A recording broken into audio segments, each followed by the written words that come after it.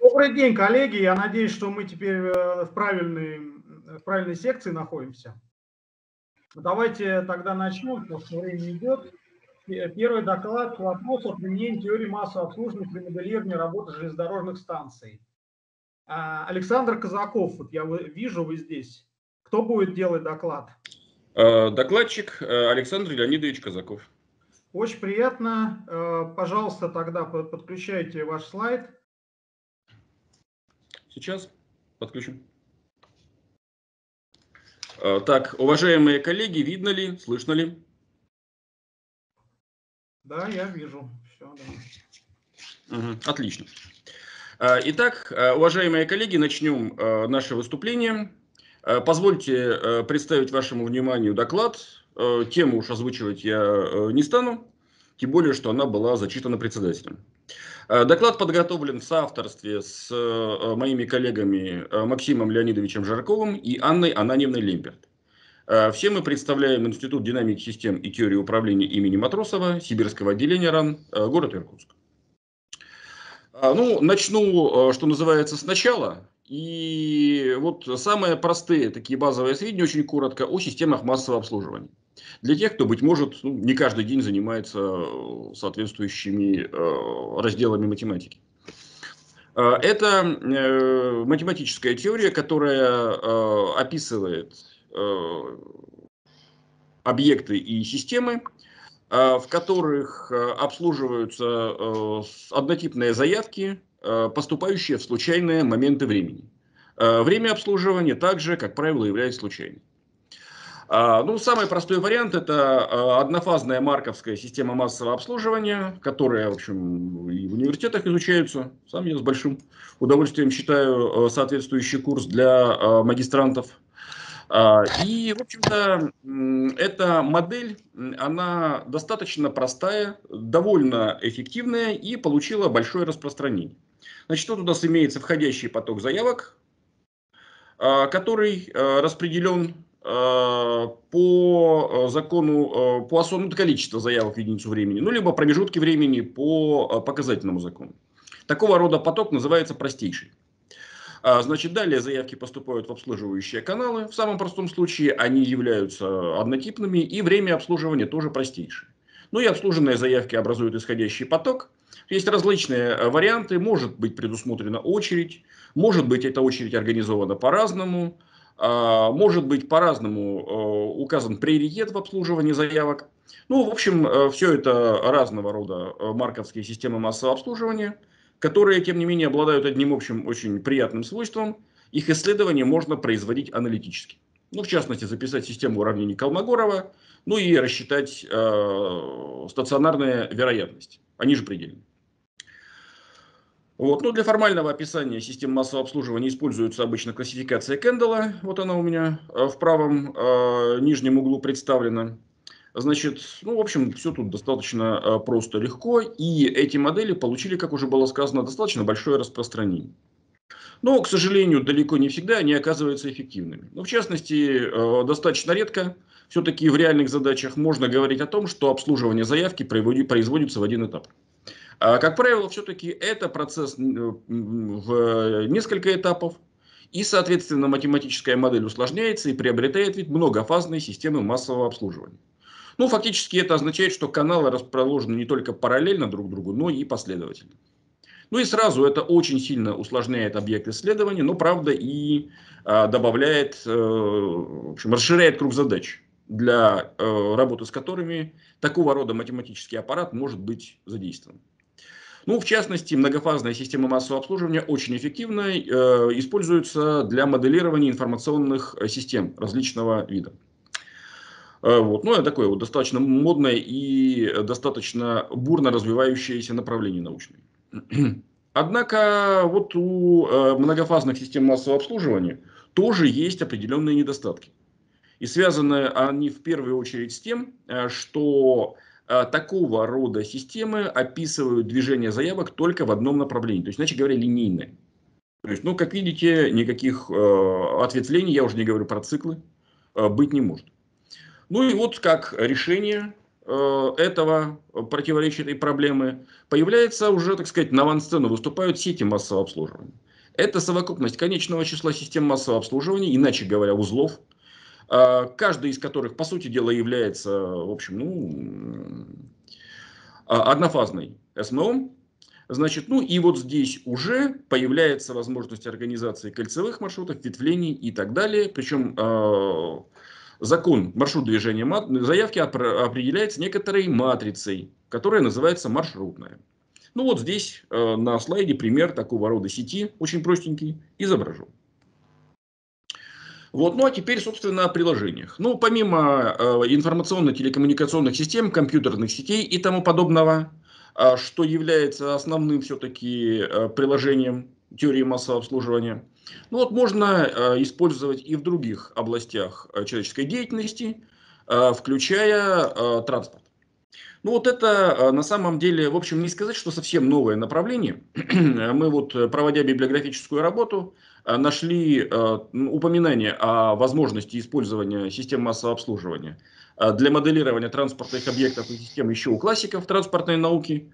Но, тем не менее, вот в то время э, это направление особого развития не получило.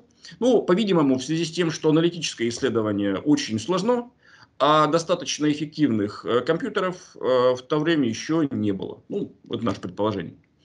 Ну и вот, наконец, несколько лет назад наш творческий коллектив взялся за эту проблему ну и часть результатов, которые за это время получены, сейчас я представлю. Значит, мы э, вот в рамках данного сообщения э, будем обсуждать э, два вида железнодорожных станций. Это грузовые железнодорожные станции и сортировочные. Но само по себе это вот с точки зрения железнодорожной науки, ну, в нонсенс. Поскольку это объекты все-таки разные, и, как правило, используются различные модели, и, в общем, ну, все делается по-разному. И даже более того, обычно этим занимаются несколько разные, так сказать, э, коллективы. То есть редко кто занимается и тем, и э, другим одновременно. Но вот, тем не менее, в общем, удалось нам э, выявить некоторые общие черты, которые присущи этим транспортным объектам, и использовать для исследования их работы вот предложенный аппарат теории массового обслуживания. Ну вот как это, собственно говоря, делается, мы сейчас и немножечко пообсуждаем. Так, ну вот э, сортировочная железнодорожная станция, как она работает, если очень коротко и в самых таких, э, самыми грубыми мазками, что называется. Вот поступает на станцию э, состав железнодорожный. Он вначале поступает в парк прибытия. Здесь происходит э, в первую очередь отцепка от поезда э, магистрального локомотива, ну или как э, в просторечии у железнодорожников говорится тягача. А, далее э, состав поступает на сортировочную горку, где он э, расформировывается на группы вагонов по направлениям и типам.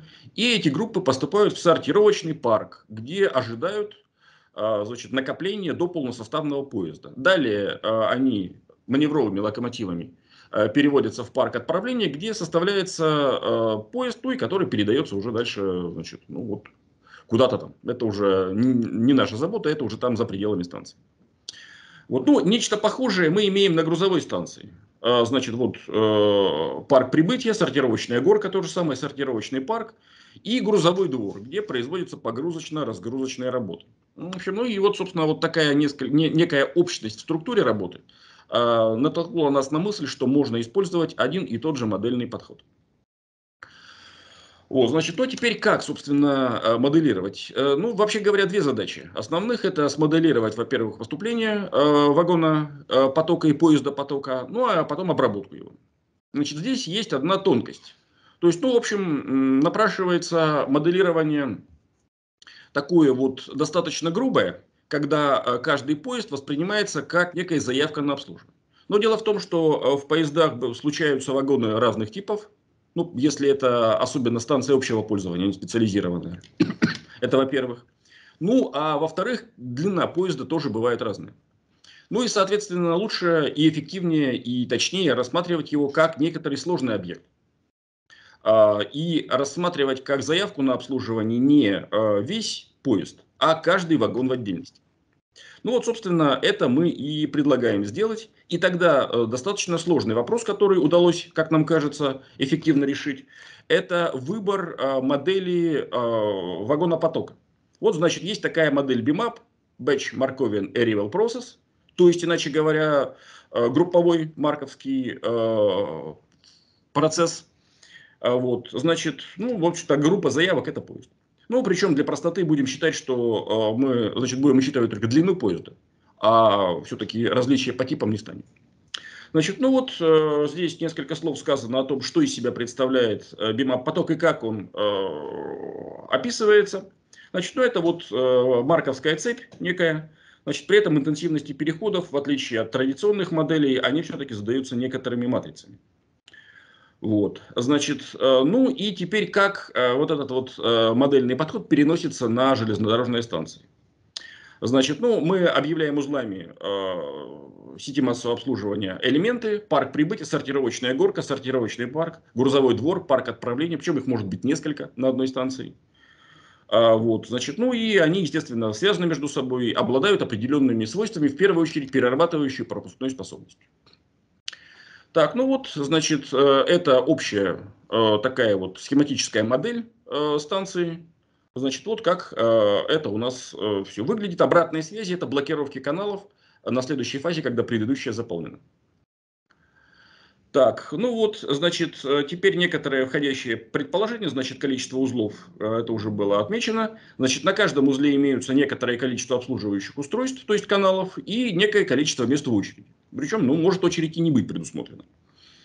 Значит, маршрутная матрица считается известной. Ну, мы ее, собственно, строим, э, исходя из реального объекта. А заявки обслуживаются со, в соответствии с э, FIFO, то есть First Input, First Output. Первый пришел, первый ушел. Значит, предполагается возможным групповое обслуживание, ну и значит, некоторые другие детали, на которых я более подробно останавливаться не буду. Интересуют нас стандартные характеристики для теории массового обслуживания. Это вероятность обслуживания, вероятность отказа, среднее количество заявок в очереди, среднее время пребывания в системе, ну и некоторые другие. Так, ну вот, э, к сожалению, аналитическими методами нам получить какие-либо значимые результаты не удалось. Ну, то есть в некоторых частных случаях кое-что сделало, сделано, но эти э, результаты годятся только для тестов. Ну, поскольку реальные задачи, как это, в общем, практически всегда случается, аналитическими методами исследовать ну, не удается.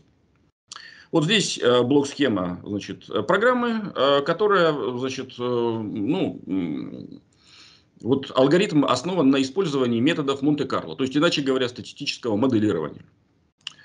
Так, ну и вот несколько слов о конкретном объекте, буквально несколько, потому что время выходит. Вот это крупнейшая в мире сортировочная железнодорожная станция Бейли Ярд, расположенная в Соединенных Штатах Америки. Значит, вот видно, что здесь несколько парков. Видно? Так, а, видно ли, уважаемые? Да, 15. Да. А, отлично. Значит, очень коротко о железнодорожной станции Бейли Ярд. Выбрана исключительно, значит, э, потому что это, ну, некоторый вызов. То есть, если мы э, сумеем э, рассмотреть этот, по-видимому, наиболее сложный объект из рассматриваемого класса, то ну, это означает, что действительно наш модельный подход, он работает, он эффективен. Значит, вот 8 парков, 2 сортировочные горки, всего, значит, 11 подсистем. Поезда прибывают в количестве 103 за сутки, средняя длина 117, максимальная 130. Вот, значит, вот здесь параметры BMAP потока. Значит, соответственно, э, BMAP поток состоит из 131 подпотока, 131 матрица, определяющая свойства. Значит, ну, э, предполагается, что размер э, вагонов распределен по биномиальному потоку от 130, значит, до 130 это средняя, а, максимальная? Да, ну и 0,95 это вероятность успеха. Вот, значит, здесь характеристики узлов, числовые, ну не знаю, стоит ли на них останавливаться подробно. Все эти, э, вся эта верификация модели э, параметрическая была проведена на основе открытых данных. Надо сказать, что железнодорожная отрасль в Соединенных Штатах весьма открыта, и э, данные есть э, в интернете, ну, в отличие от наших э, железнодорожных перевозок, в которых, в общем, э, секретность значительно э, больше. Вот. Ну и, собственно, благодаря этому нам удалось э, числовые параметры получить и использовать их для э, построения модели. Значит, ну вот э, здесь э, характеристики обслуживания. Значит, ну, используется э, усеченный нормальный закон. То есть вот мы просто раньше нормальный закон использовали, но покритиковали, что вроде как в соответствии с нормальным законом возможно отрицательное значение. Пусть даже это за пределами, значит, вот этого интервала, э, а минус 5 сигма, все равно. Поэтому вот мы все-таки его, что называется, немножко модифицировали. Так, ну и вот здесь э, кое-какие э, расчетные данные. Значит, вот при актуальных характеристиках э, 4,3 группы заявок в час, то есть, иначе говоря, 12 тысяч вагонов в сутки, все нормально. Хотя уже вот видно, что есть некие звоночки. Ну, например, э, среднее время нахождения заявки в системе очень велико, более трех суток. Значит, и появляется возможность блокировки каналов, то есть кое-где приходится ждать. Значит, но тем не менее э, система в среднем справляется и некоторый запас прочности имеет. А вот если мы доведем интенсивность входящего потока до 4,95 групп заявок в сутки или до, ну, до 13,9 э, тысяч вагонов, то тогда уже появляется вероятность некоторая отказа. Значит, вот видно, что хоть и маленькая, но 2000 тем не менее, значит, есть. И это, разумеется, для сортировочной э, станции неприемлемо. То есть, ну, куда эти вагоны э, денутся, условно говоря, если их станция принять не может. Вот. Ну, то есть, вот видно, что есть некоторая предельная э, возможность. Причем, значит, видно, где находятся э, такие вот э, ограничивающие элементы. Это, в первую очередь, узел номер один и во вторую узел номер шесть. Значит, вот такие вот, да, ну, в общем, узел номер 8. А вот узел номер 3 или узел номер 5 или номер... Э, так, ага, они вот вполне себе эффективно работают, даже при увеличивающейся нагрузке. То есть, на самом деле система работает не вполне равномерно. Так, ну вот, значит, что получается-то? Ну вот некоторые результаты. Значит, в настоящий момент справляется, есть небольшой резерв, э, но э, очень маленький. Ну и до 15 тысяч, если возрастет э, нагрузка, то станция уже, что называется, посыплется. И работать, по-видимому, перестанет, как все системы, ну, в которых э, поток заявок более интенсивен, чем перерабатывающая способность. Вот. Но здесь э, представлены некоторые э, выводы. Вот. Ну, то есть, в общем, нельзя, конечно, сказать, что предложенный подход является, э, значит, под, э, ну, годится для того, чтобы на основании этих исследований проводить э, какие-то вот, э, какую-то модернизацию станций. Здесь, разумеется, нужно, прежде чем отрезать, 10 раз отмерить. Но, тем не менее, в качестве некоторой грубой прикидки все это вполне годится. Причем вот эта модель чем хороша, она очень быстро адаптируется к реальному объекту. Ну и, соответственно, некоторые приблизительные и первичные расчеты – можно достаточно быстро и легко э, произвести. Ну, что не скажешь про э, традиционные, э, вот, оптимизационные, как правило, модели. То есть там, прежде чем эта модель построится, ну, в общем, должен работать большой коллектив авторов и в течение довольно длительного времени. Ну, здесь, разумеется, вот такого недостатка модель лишена. Хотя, еще раз повторю, значит, ну, минус в том, что все-таки э, точность, ну, пока недостаточно. На этом, уважаемые коллеги, у меня все. А, здесь представлены некоторые источники библиографические, которые были использованы. А, ну и готов, уважаемые коллеги, ответить на вопросы. Да, спасибо, Александр. А, у нас есть э, пару минут э, на обсуждение, вопросы. Пожалуйста, коллеги. Александр, можно задать вопрос? Э, а, вы используете эмоционное моделирование, понятно, а, на основе каких-то реальных данных. Бывает так, что даже система с одним BMAP потоком сталкивается со сложностью оценки параметров. А оценка, правильная оценка параметров а, влияет на правильную оценку корреляции потока. А корреляция, в свою очередь, э, оказывает огромное влияние на задержку, на среднее там, число заявок в системе и так далее. Вот насколько, во-первых, какими методами вы пользуетесь, чтобы оценивать э, параметры BMAP потоков, и вот насколько вы контролируете, что вы правильную корреляцию вычисляете? А, так, ну мы, а, значит, ну давайте по порядку. Значит, во-первых, а, мы все-таки, значит, ну единственный, на мой взгляд, такой эффективный здесь может быть способ проверки, это сравнение с какими-то тестами, ну для которых что-то такое более или менее внятно известно. Вот, значит, ну и, собственно, вот те небольшие аналитические результаты, которые нам удалось получить самим, либо найти в литературе, они вот здесь активно применяются. А, значит, это, значит, так первая часть ответа. А, что касается э, корреляции потоков, то, честно скажу, мы в этом аспекте задачу, да, не рассматривали, но у нас вообще один BMAP поток. Угу.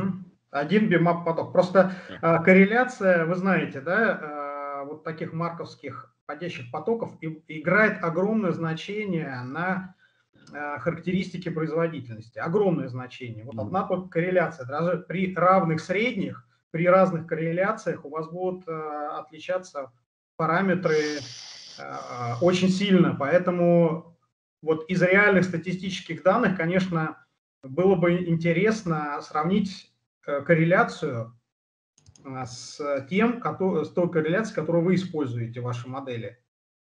Что а... тогда это самое, чтобы понять, действительно ли там ну, на грани функционирует система или все-таки там запас прочности выше или ниже, наоборот. Ага, ну, спасибо за рекомендацию. Посмотрим.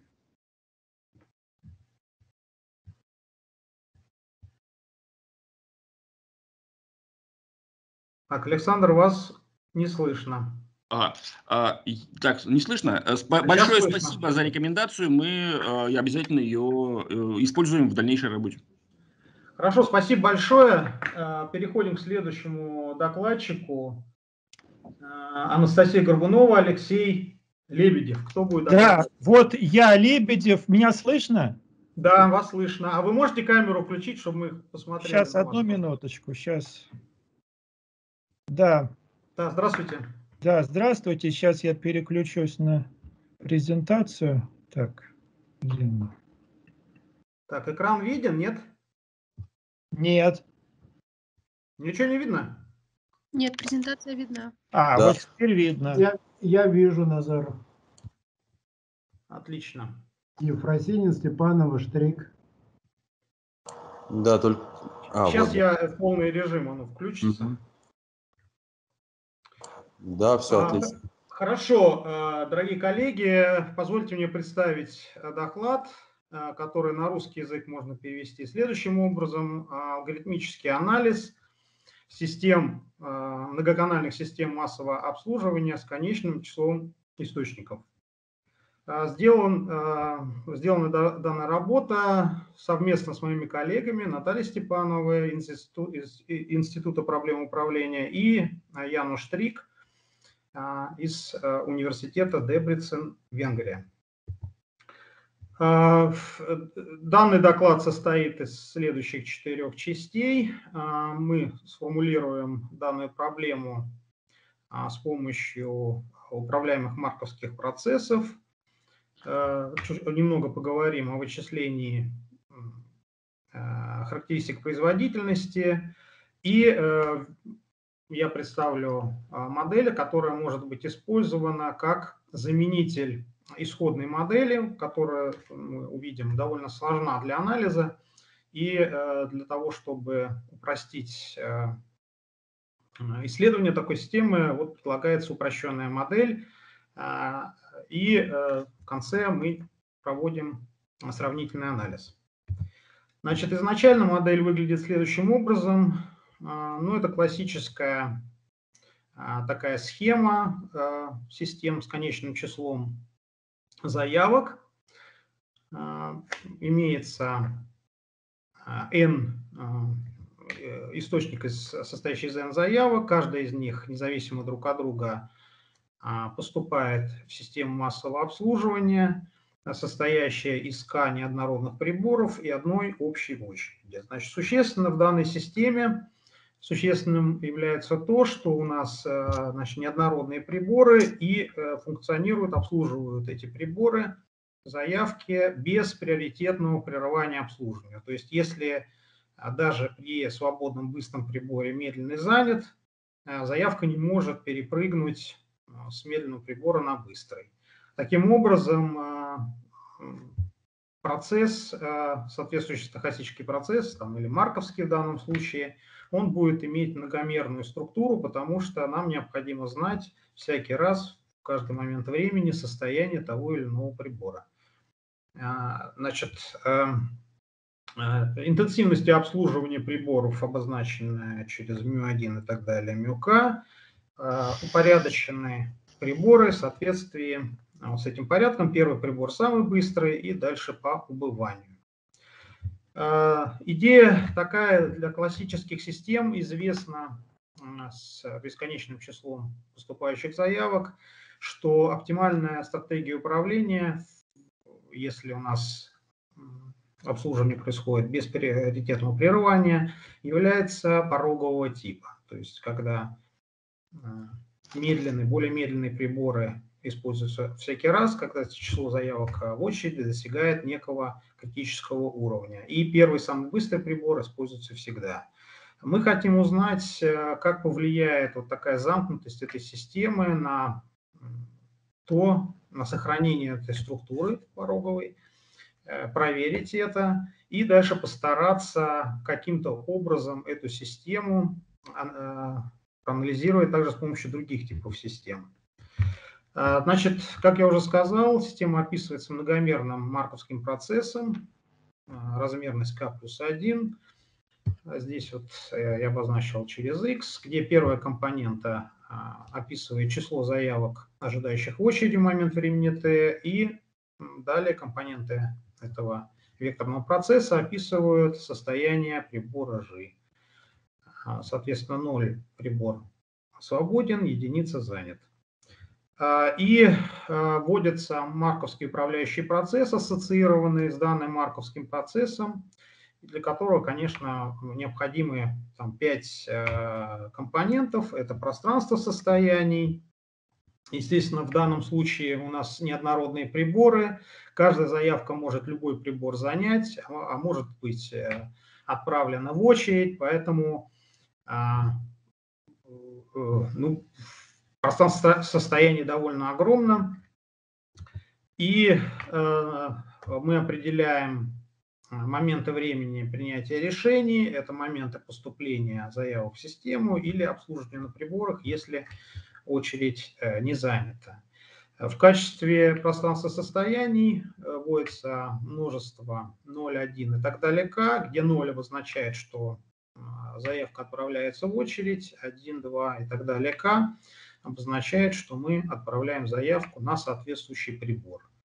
Э, значит, э, критерием э, качества функциональной системы у нас будет среднее число заявок в системе в единицу времени. Соответственно, нам нужно фиксировать число заявок в каждом состоянии. Это есть непосредственные штрафы для каждого состояния, обозначим через L от X. Ну, как мы видим по определению, это есть не что иное, как число заявок в данном состоянии. И значит, отличие от обычных систем марковских процессов и управляемых процессов, то, что у нас интенсивности переходов зависят от управляющего воздействия в каждом конкретном состоянии. Поэтому у нас э, эти интенсивности будут зависеть от того, куда э, та или иная заявка направляется в момент принятия решений. Значит, вот эта первая строка показывает, что происходит а, с поступающей заявкой. Естественно, здесь э, интенсивность будет зависеть от числа а, заявок в источнике на данный момент, и мы можем эту заявку разместить как на приборе, каком-то свободном приборе, так и в очередь отправить, для того, чтобы эта заявка ожидала освобождения более быстрого прибора. А, далее следующая строка отвечает за обслуживание прибора, если у нас очередь свободна, то есть мы здесь ничего не должны делать, только освобождаем э, прибор и все. Следующая строка отвечает за обслуживание на приборе, если у нас есть ожидающие заявки в очереди. В данном случае э, при окончании обслуживания берется заявка из очереди и снова распределяется по приборам, либо возвращается обратно. А здесь я использовал эм, Операторы ну, для компактности представления изменений состояний при переходах S, которые задаются следующим образом, когда мы смещаем а, тот или иной а, компонент на единицу векторного состояния. А, в общем и целом задача состоит в том, чтобы найти оптимальное управление, такое что, а, которое бы минимизировало средние потери в единицу времени. Это классический такой функционал – потерь. В данном случае мы будем минимизировать среднее число заявок в системе. Э, соответственно, у нас конечное пространство состояний, то есть нету проблем э, с э, условием эргодичности, поэтому у нас среднее по времени совпадает среднее по выборке, то есть тут со сходимостью проблем нет. И э, необходимо минимизировать этот функционал. Конечно, можно было бы для разных э, стратегий управления вычислять стационарной вероятности состояний и выбирать из них минимальное. Но так как количество возможных вариаций управления а, огромно, поэтому в данном случае используется итерационный алгоритм по политикам. При использовании этого алгоритма нет необходимости перебирать все возможные политики, а можно какую-то политику фиксировать и ее улучшать. То есть это улучшение – там за пределах 10 шагов итераций а, достигается оптимальная стратегия управления. Э, по сравнению с обычными очередями, как я уже сказал, э, оптимальная политика управления порогового типа. Здесь мы также предполагаем пороговость оптимального управления. К сожалению, в отличие от классических систем, где можно доказать э, монотонные свойства оптимального управления здесь так напрямую не получается в связи с э, тем, что а, у нас интенсивности поступления зависит от состояния, там есть некие сложности. Вот. Э, далее я э, представил этот алгоритм, о котором я коротко уже рассказал. То есть фиксируется какая-то начальная стратегия, решается система линейных уравнений относительно некой функции v от x, которая в теории управляемых марковских процессов называется функция э, оценки модели. А, и, э, значит, из этой системы находится вот э, функция v от x. И далее следующий шаг улучшения политики управления с помощью нехитрой операционной задачи вычисляется следующая политика и сравнивается с предыдущей. Если две политики сходятся, значит мы нашли оптимальную политику управления. Если нет, то повторяем для новой политики, опять решаем систему линейных уравнений, находим новую политику и так далее. То есть обычно этот алгоритм, самое сложное это решить большую систему линейных уравнений. А вот в плане сходимости политики управления обычно в пределах 10 шагов сходится для, даже для самых сложных систем.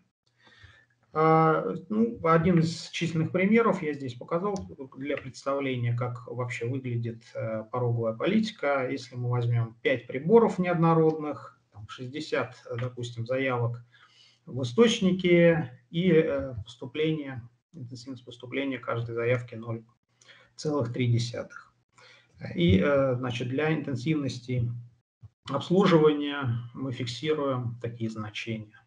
Таблица управляющих воздействий представлена здесь.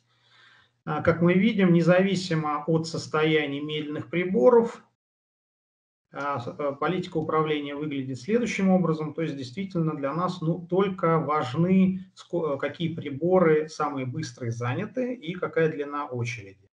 То есть для каждого более медленного прибора существует пороговый уровень, зависящий от длины очереди. То есть э, в принципе, э, природа политики управления, даже для замкнутых таких систем с конечным числом заявок, она аналогична э, системам э, классическим. Значит, для, при фиксации пороговых управлений состояние, пространства состояний могут быть упорядочены таким образом, что мы получаем классический процесс квазипроцесс рождения и гибели с трехдиагональной блочной структурой, зависящей, а, ну, с большим числом, естественно, пограничных состояний, которые зависят от а, пороговых уровней. Эту а, значит, матрицу блочную ее можно алгоритмически вычислить, то есть каждый этот блок для произвольного числа заявок в системе и, соответственно, наша цель является вычисление определенных характеристик производительности, вероятность э, того, что катый прибор занят, э, среднее число занятых приборов, среднее число заявок в очереди или в системе и так далее. То есть я там много разных характеристик считал. Э, общее то, что все это сводится к тому, что решается система уравнений, которые в матричном виде выглядят следующим образом. То есть для разных а, характеристик производительности, в принципе, схема одна и та же. То есть э, считается система э, уравнений, где в эту систему входят блочные трехдиагональные матрицы, и с помощью значит, нехитрых манипуляций можно рекуррентно посчитать, посчитать соответствующие характеристики для произвольного числа заявок в системе и, в случае, если там э, у нас есть фиксированная э, пороговая стратегия управления. А, ну, естественно, такая схема, э, система имеет ряд ограничений, тоже опять-таки на размерность. И появилась идея попробовать как-то схлопнуть пространство состояний и попробовать более простыми системами а, описать оригинальную систему, чтобы а, э, ну, характеристики производительности были более-менее близки. И мы рассматриваем, рассмотрели систему с а, приоритетным прерыванием, но также позволяющую соблюдать пороговый режим, когда у нас там, более быстрые приборы подключают, более медленные приборы подключаются по мере роста очереди. Э, естественно, здесь э, можно спокойно вычислить э, классическую мультипликативную форму для а, вероятностей состояний и вычислить характеристики производительности. И далее мы а, сравниваем четыре модели. Оригинальная модель с приоритетным, без приоритетного прерывания, такая же модель, где все у нас пороговые уровни равны единице. Это так называемая модель включения только быстрого а, прибора всякий раз, когда он свободен. И две модели с, приоритетным прерыванием, которая подразумевает использование прибора всякий раз, быстрого прибора, когда он э, свободен, и а, использование медленного прибора в соответствии вот с, с такой эвристической а, пороговой стратегией. И э, Следующие два слайда показывают э, наши результаты, сравнительный анализ. Здесь мы видим на этом графике, что э, среднее число заявок в системе, э, в оригинальной системе и в системе с приоритетным прерыванием и пороговым управлением сходится. Вот. И а на следующем слайде соответствующую картину мы наблюдаем для среднего числа занятых приборов. Но здесь теперь он сходится с а, а, задач с моделью с приоритетным прерыванием 2, то есть когда мы еще а, дополнительный эвристический порог используем. Таким образом, вот эта новая модель, где мы склопываем пространство состояний, она может быть использована, а так как мы теперь знаем среднее число заявок в системе и среднее число общее среднее число заявок, э, в системе и среднее число занятых приборов. То есть можно отсюда вычислить среднее число заявок в очереди. То есть практически все самые важные характеристики могут быть аппроксимированы вот из этой новой системы с приоритетным прерыванием. Что, э, по моему мнению, является хорошим подспорьем, потому что вот э, подобного рода сложные системы в основном анализируются с помощью инвестиционного моделирования и неуправляемой системы. Для управляемых э, довольно сложно использовать инвестиционное моделирование только применение с так называемыми смарт-алгоритмами и так далее. Спасибо за внимание. У меня все.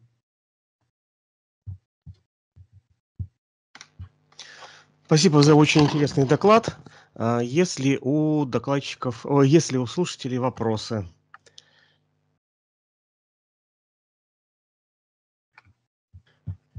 Ну вот у меня вопрос. Э, скажите, пожалуйста, вот очень интересная модель. Я приблизительно занимаюсь ну, похожей тематикой. Вот сегодня буду делать доклад. А вот вопросы устойчивости вы исследовали а, ну, по тем или иным параметрам вот, данной модели? Э, ну, вы имеете в виду устойчивость на что? На, на а, то, что там разные две модели, оригинальные аппроксимация совпадают, или устойчивость в каком плане? Да, да, да, да, именно в этом смысле. Ну, конечно, мы гоняли параметры, параметры э, изменяли число заявок, и число приборов, и интенсивности, и, в принципе, э, ну, совпадение довольно-таки хорошее. Есть э, ряд областей, параметров, где там немножко э, отличие растет, но в общем и целом оптимистично можно рассматривать. Оптимистично.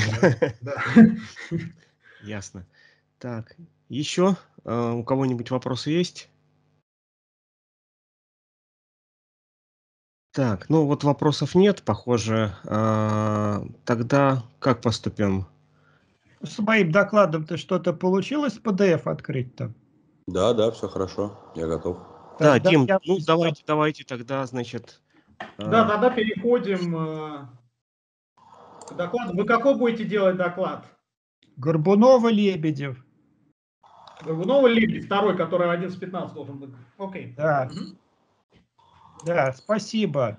Так, значит, мы изучали время отклика в системах ForkJoin э, с распределенными по Парето временами обслуживания как модель э, облачной вычислительной системы с использованием э, значит, нейронных сетей. Ну, использование нейронных сетей здесь относится вот э, к словам э, оценка времени отклика, да, а не к самой системе. Дальше, пожалуйста.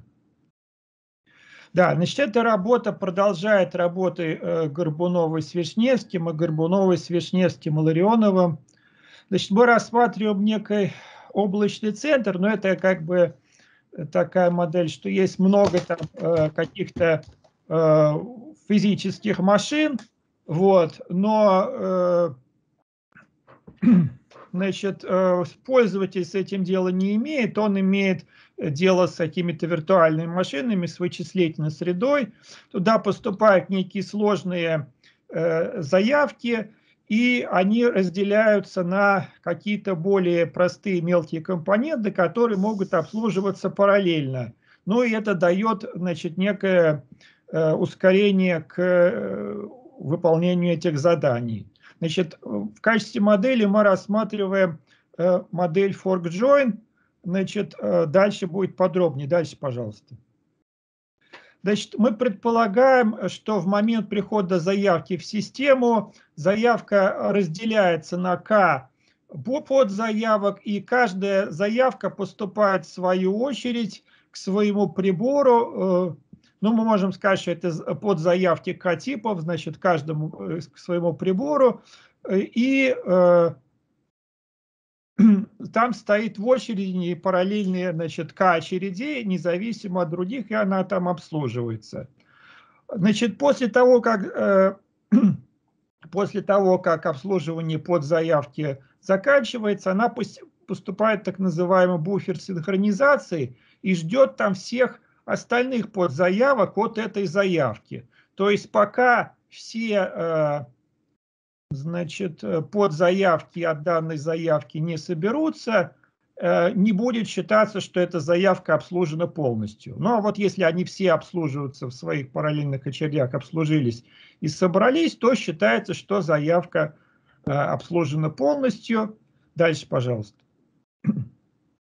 Значит, это вот, собственно, графическая схема этого, э, значит, э, ForkJoin. ForkJoin это, значит, по-русски обычно говорят система с разделением заявок, но на самом деле это не совсем хорошо, потому что э, есть несколько типов систем с разделением под заявок, а вот по-английски они более конкретны. Вот ForkJoin это то, что я объяснил. Значит, вот здесь нарисовано, как эти подзаявки, они сначала Значит, заявка разделяется на К подзаявок, каждая идет в свою очередь, значит, в своей какой-то виртуальной машине обрабатывается, потом поступает в буфер. Когда все подзаявки соберутся от данной заявки, вот считается, что она обслужена. Дальше, пожалуйста. Вот. Ну и в конечном счете, значит, нас интересует э, время пребывания подзаявки. То есть от момента ее поступления до момента ее ухода.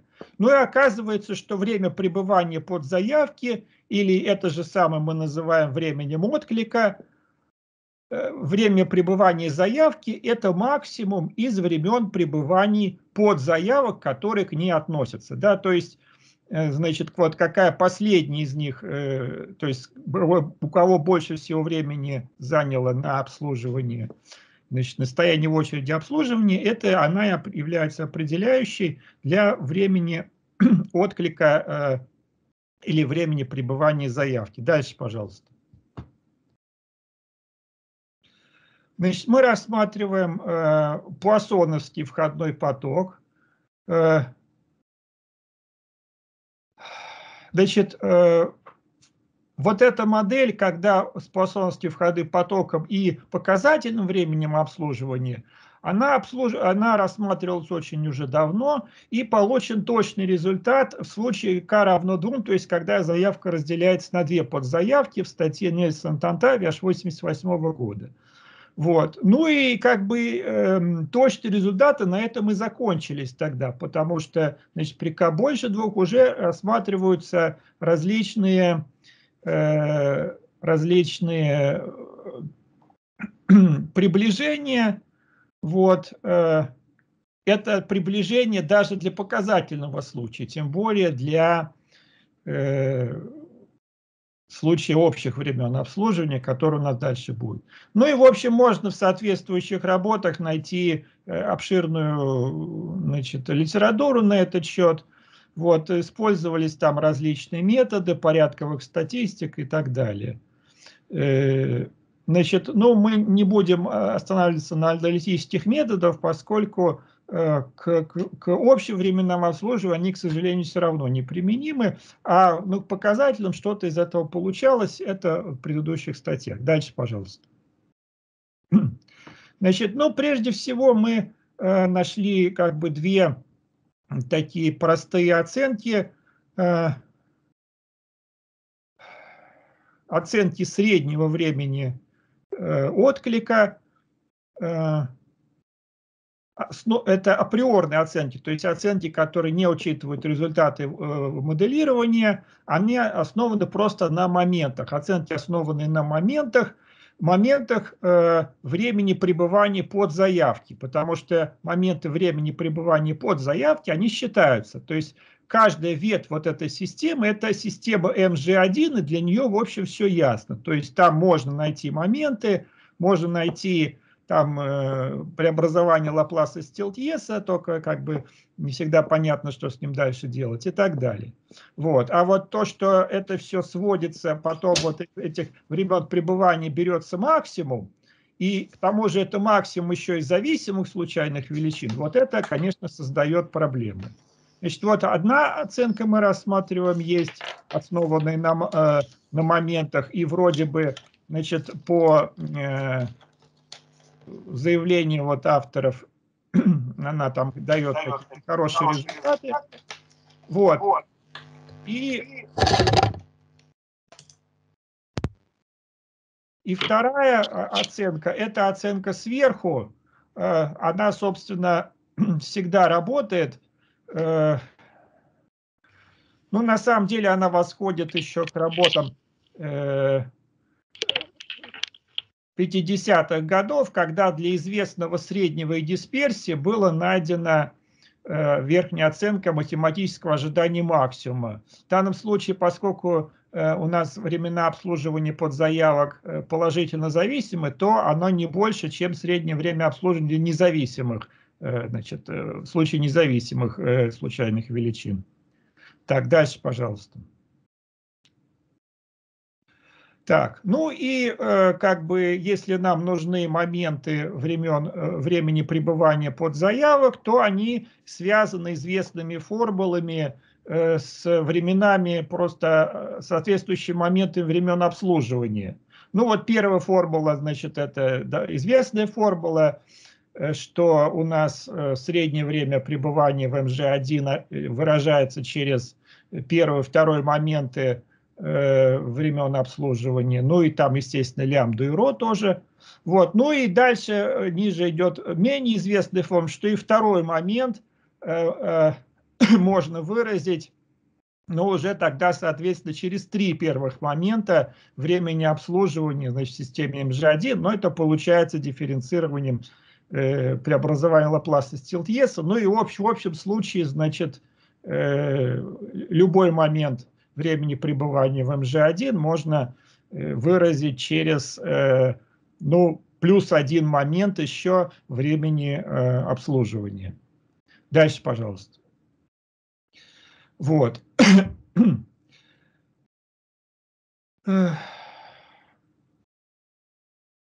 Ну и, значит, еще можно заметить, что, конечно, что моменты, основанные на а, оценки, основанные на моментах, они учитывают только моменты, не учитывают более подробную информацию о распределениях. То есть для каких-то конкретных распределений э, с одинаковыми моментами они могут работать лучше, а какие, э, для каких-то хуже, как бы заранее это неизвестно.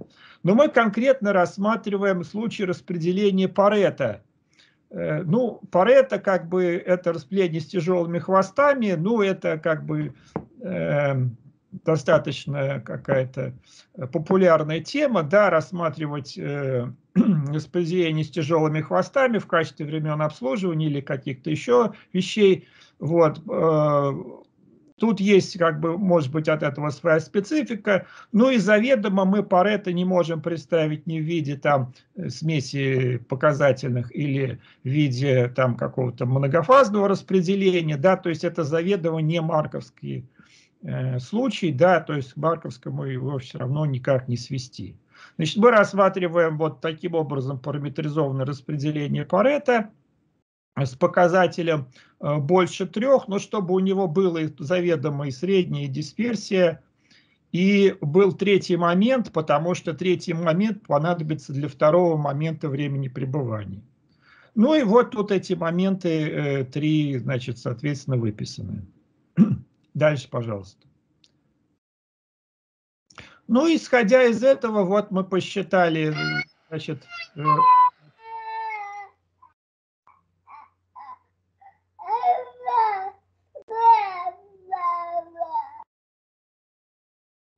Так, значит, мы посчитали соответствующие моменты времени пребывания. Вот, и дальше будем их использовать. Дальше, пожалуйста. Теперь, значит, по поводу того, э, что же у нас с нейронными сетями. Значит, э, и как они применяются в, в анализе, значит, э, системы и, и сетей массового обслуживания. Значит, они это некая комбинация моделирования и вот этих самых нейронных сетей. Значит, в двух словах о чем идет речь.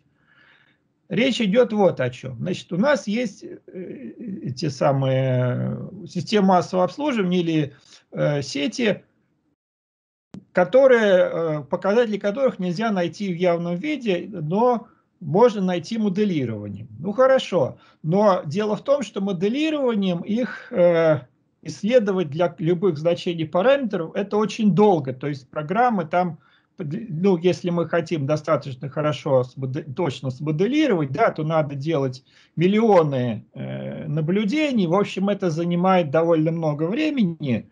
Поэтому возникает такая мысль, для какого-то набора параметра какой-то сетки посчитать э, значит, вот провести моделирование и найти э, оценки этих параметров, а потом для каких-то других значений, чтобы э, значит, вот, э, значит, натренировать эту самую нейронную сеть, чтобы она на основании этих данных для известных параметров выдавала бы значения для неизвестных, ну, для эм, таких значений параметров, для которых моделирование не проводилось, ну, в общем, она, чтобы решала некие задачи интерполяции и экстраполяции э, известных данных, которые намоделированы. Дальше, пожалуйста. Ну, вот это данные, которые, э, эти наборы параметров для моделирования и для обучения сети. Значит, альфа менялась, это параметр э, распределения Парета, значит, от 4 до 10. Ро менялась, э, это загрузка, да, у нас загрузка Э, от 0,1 до 0,9 и k, то есть э, вот э, число подзаявок, на которое делится заявка, менялось от 2 до 20. Вот. И значит, производилось моделирование, оценивались значит, средние времена пребывания и среднеквадратичное отклонение времен пребывания – Значит, делалось это все в питоне и э, делалось, э, значит, моделировалось по 10 миллионов времен отклика для каждой, значит, э, комбинации значений параметров, а таких вот комбинаций, как тут написано, значит, 1197. Вот такая, такая большая работа была проведена. Дальше, пожалуйста. Значит, э, структура нейронной сети, значит, было по 10 нейронов э, в трехслойном нейроне, вот, значит, с логистической активационной функцией. И э, для каждой значит, оцениваемой характеристики фактически была своя сеть, то есть отдельно оценивалось среднее и отдельно среднеквадратическое отклонение. Дальше, пожалуйста. Ну вот здесь э, схематически нарисован этот самый, эта самая нейронная сеть. Вот, она на входе имела значит, значение альфа, ро и к, и на выходе значит, имела э, оценки среднего времени отклика и среднеквадратического отклонения. Дальше, пожалуйста. Ну вот как, как положено в, в этой в теории нейронных сетей, значит, данные были разделены в отношении 80% 20%, значит, на 80% э, значит, это производилась значит, тренировка сети, и потом еще на 20% э, проверялось, значит, насколько хорошо она работает. Ну вот использовались несколько оценок, значит, э, среднеквадратическая ошибка, средняя абсолютная ошибка и средняя абсолютно относительная ошибка. Ну вот как тут написано. Дальше, пожалуйста. Ну и, в общем, получалось э, все очень хорошо. То есть все эти ошибки очень маленькие на этом самом множестве. Дальше, пожалуйста. Но мы на этом не остановились и решили проверить э, результаты еще на э, других да, э, значениях, а именно промежуточных по сравнению с предыдущими. То есть вот альфа, значит, 4,5, потом 5,5, 6,5 и так далее до 9,5. Ро у нас, значит, 0,15, потом 0,25 и так далее до 0,85. Ну, а АК они уже как бы целые, поскольку они те же самые. То есть мы еще намоделировали вот 915 э, случаев, и их проверили тоже вот с помощью уже настроенной этой самой нейронной сети. Дальше, пожалуйста. Ну и вот э, здесь, в общем, видно, что ошибки для нейронной сети, это вот то, что тут написано ANN, да, Artificial Neuron Network, вот, а все э, оценки по формулам, которые у нас были тем или иным, они, в общем, дают плохие результаты. Ну, это очевидно. Дальше, пожалуйста. Это вот э, сравнение результатов моделирования с результатами значит, предсказания э, нейронной сетью. И видно, что, в общем, ну, в идеале оно должно точности ложиться напрямую, фактически оно где-то достаточно хорошо в окрестности прямой, только в области больших значений немножко убегает. Дальше, пожалуйста. А вот это совершенно страшные графики, э, попыткой значит, оценивать по вот ранее выписанным формулам. Ну, видно, что где-то в начале оно еще где-то лежит рядом с прямой, а дальше оно от него сильно убегает. Дальше, пожалуйста. Да, ну вот еще тоже, значит, аналогично тоже убегает. Дальше, пожалуйста.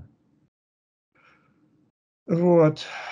Ну, это вот э, оценка, э, то есть э, оценка времени пребывания по э, времени пребывания одной подзаявки ну, то есть заведомо оно не должно давать хорошего результата. Видно, что оно дает результат, хорошие результаты только вот в каких-то крайних случаях. Дальше, пожалуйста.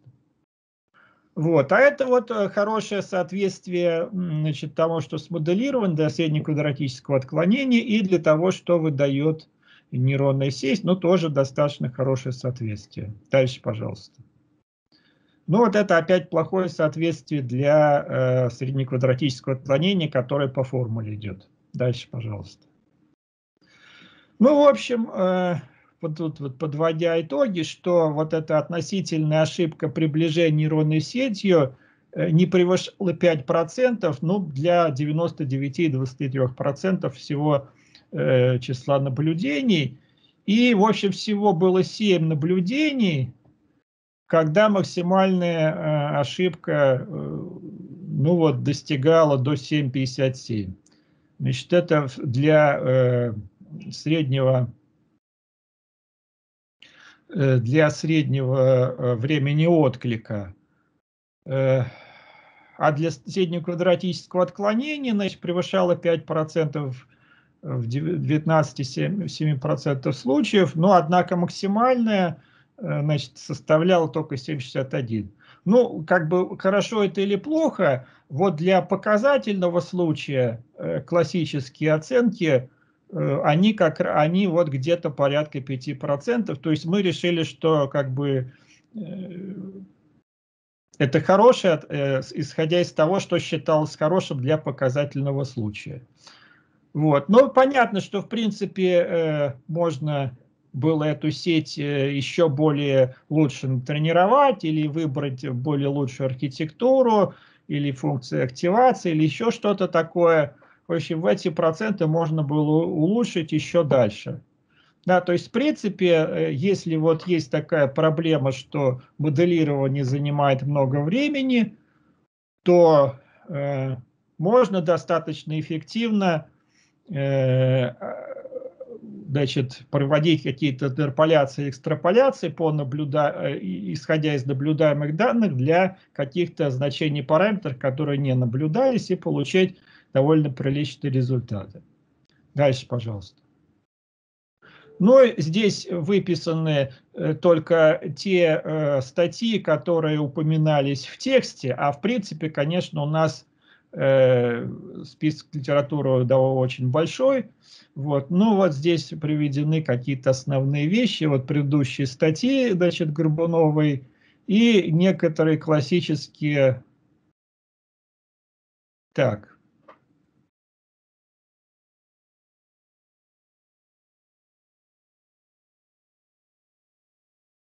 Э, ну, в общем, вот эти некоторые статьи, эм, которые упоминались, но тут, по-моему, Нельсона Тантави не, не, не, не, то, не тот год, ну, неважно. В общем, это известная вещь.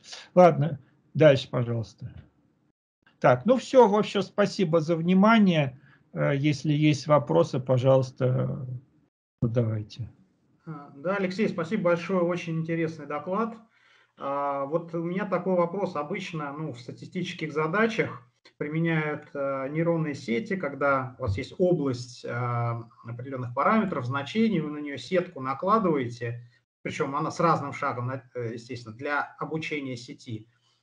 Если шаг больше, то там ошибка больше, если шаг этой сетки меньше, то ошибка меньше. Вот там, где у вас плохие результаты, это экстраполяция, то есть это вне области обучения сети вы изучали? Нет, нет, нет. Плохие результаты – это результаты, полученные по аналитическим формулам. То есть в данном случае мы показываем, что э, Э, результаты данной нейронной сетью, они гораздо лучше. А, лучше. Все, я понял. То есть вот эти плохие результаты, это не нейронная сеть. Да, да, да. А, Нет, все, плохие все, результаты, это по формулам плохие результаты. Ага, а... Все, все, я понял. Спасибо. Да, можно да. ли задать еще один вопрос? Да, да конечно, пожалуйста. Да, скажите, пожалуйста, а вот э, когда поступают под заявки на обслуживание, то эти все обслуживающие параллельные устройства, они как? Они могут быть, э, они все одновременно свободны или, или, или как-то там может быть э, разный порядок там? В, в, каждом, в каждом своя очередь, то есть э, как бы по дисциплине обслуживания первый поступил, первый обслужился, то есть фактически это э, К, э, К параллельно работающих систем МЖ1, у которых э, как бы Э, одинаковый входной поток. То есть моменты поступления заявок соответствуют моментам поступления подзаявок на все, на все эти системы. А в каждой из них, значит, своя очередь, то есть где-то может быть длиннее очередь, где-то короче, вот, и поэтому времена пребывания под заявок, образовавшихся от одной заявки, они э, во всех э, очередях разные. Вот. И э, поскольку нам надо дождаться, что каждая подзаявка в своей очереди обслужится, то вот как бы все, все ждут самую последнюю из, так сказать, из, из этой компании, да, значит, кто последний пришел. Из-за этого возникает вот максимум времен пребывания. Понятно. То есть э, время ухода э, заявки это э, вот максимум из этих, получается, Ну так, да, то есть для того, чтобы мы считаем, что заявка полностью обслужена, когда обслужены все ее подзаявки. Угу. Вот. Ну, представьте себе, что, например, э, вот вы, допустим, пришли, компания, допустим, э, я не знаю, там, ну, пять человек, да, пять, пятеро друзей пришли, э, допустим, в супермаркет, Э, каждый потом э, э, встал в свою очередь, ну, допустим, там 5 касс, значит, каждый встал в свою очередь, вот, ну, и э, на выходе они ждут, когда все соберутся, да, то есть каждый прошел свою очередь, и все, все, значит, ждут своих друзей, пока они все там снаружи соберутся, то есть время их, время их пребывания в этом супермаркете, оно как раз и будет значит, максимум из времен пребывания каждого, значит, сколько он там стоял, э, значит, в очереди и э, сколько, значит, потом обслуживался.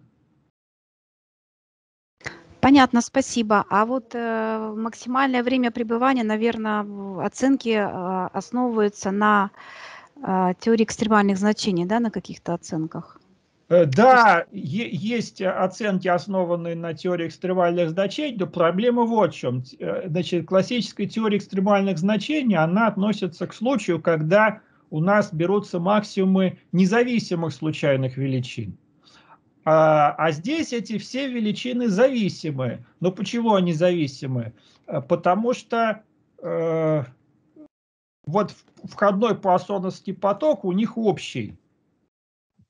И вот это создает зависимость. Это, кстати, тоже интересная тема. Вот изучить, значит, скажем, коэффициенты корреляции тоже вроде никто этим особо не задавался. То есть все вот эти вот э, времена обслуживания, э, времена пребывания, нет, времена обслуживания независимы, времена пребывания, э, они оказываются зависимы. Но они положительно зависимы, поэтому, значит, это дает оценку сверху только вот независимыми э, величинами, да, значит, э, среднее э, для независимых величин, оно больше, чем среднее для положительных зависимых. То есть вот это вот была оценка сверху. А в точности что получается, это непонятно, потому что э, нужно исследовать еще зависимость, а зависимость сама, сама по себе э, довольно загадочна. Значит, но мы это будем делать в следующих работах, будем пытаться получать более точные оценки, а так особо, в общем, как мы посмотрели по литературе, э, никто не заморачивался. То есть вот это э, либо считают, что они независимы, либо считают, что вот оценка сверху для независимости это Причем эта оценка сверху для независимости, она, э, она работает именно для средних, а для дисперсии, ну и, соответственно, среднеквадратического отклонения, она не работает. То есть э, среднеквадратическое отклонение может э, быть и в большую сторону, и в меньшую сторону за счет вот этой зависимости. Вот. Э. Спасибо. Спасибо за ответы. Э, Сергей Анатольевич э, Васильев, который. Вы здесь? Да, да, да, да. А, Сергей, э, возьмите, пожалуйста, бразды правления на себя, потому что мне нужно будет от, от, отойти. Хорошо. Так, ну тогда, э, может, вы меня объявите и э, ну, Хорошо, следующий доклад сделает Сергей Васильев.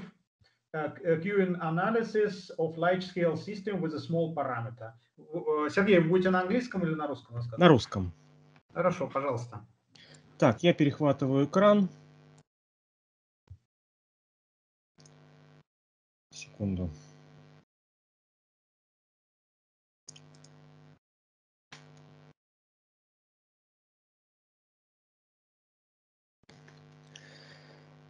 Так, появилась ли моя презентация?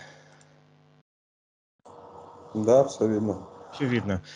Э, добрый день, уважаемые коллеги. Э, я постараюсь быть кратким, как говорил герой Чехова, потому что регламент мы немножко нарушили. А, я планирую рассказать э, небольшой как бы эскиз исследования, которое мы уже докладывали в прошлом году, а, связанный с моделями, которые а, вот развиваются и развивали ну, вот группа Введенская и Добрушина в свое время. Ну и, соответственно, вот мы решили модифицировать те модели, которые использовали, ну, которые построили, собственно говоря, эти авторы, э, ну, на э, современной, скажем так, э, к современной проблематике теории массового обслуживания. И плюс еще к этому мы решили применить ну, не просто как бы численный анализ там в каком-нибудь стандартном пакете, типа там, которых очень много, а э, построить э, свою как бы э, численную как бы схему для анализа вот тех уравнений, которые возникают в рамках моделей, которые, которые мы вот докладывали на прошлой конференции, на прошлом, на прошлом DCCN в прошлом году. Вот. Ну и, соответственно, вот посмотреть, какие результативные, ну, какие результаты можно получить э, с помощью подобного рода численных схем. Для э, э, вот, систем массового обслуживания э, ну, большого, большого, большого размера. Значит, вот здесь вот представлены работы Веденская и Добрушин. В начале, в конце 90-х они этим занимались. Вот, и, соответственно, основные работы, связанные с э, численными методами. Да, это вот э, равномерные, равномерные сетки Шишкина.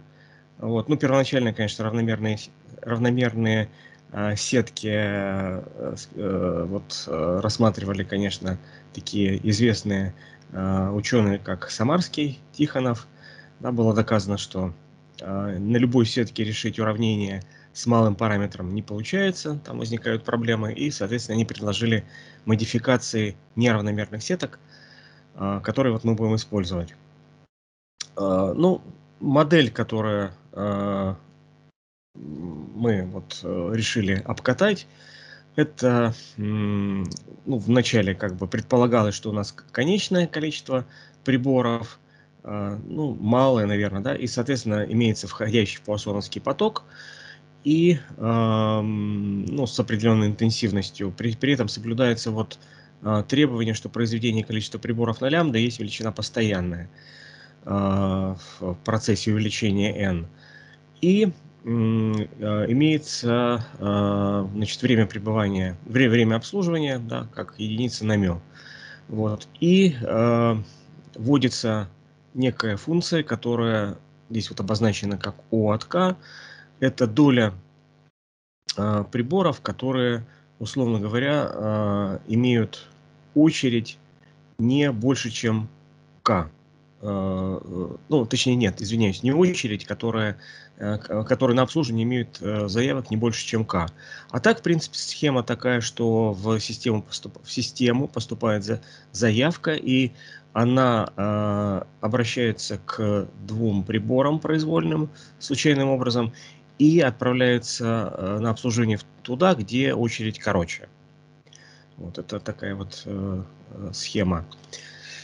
Такая дисциплина обслуживания. Значит, мы, а, ну, опять в модели Веденской предполагается, что у нас количество приборов стремится к бесконечности.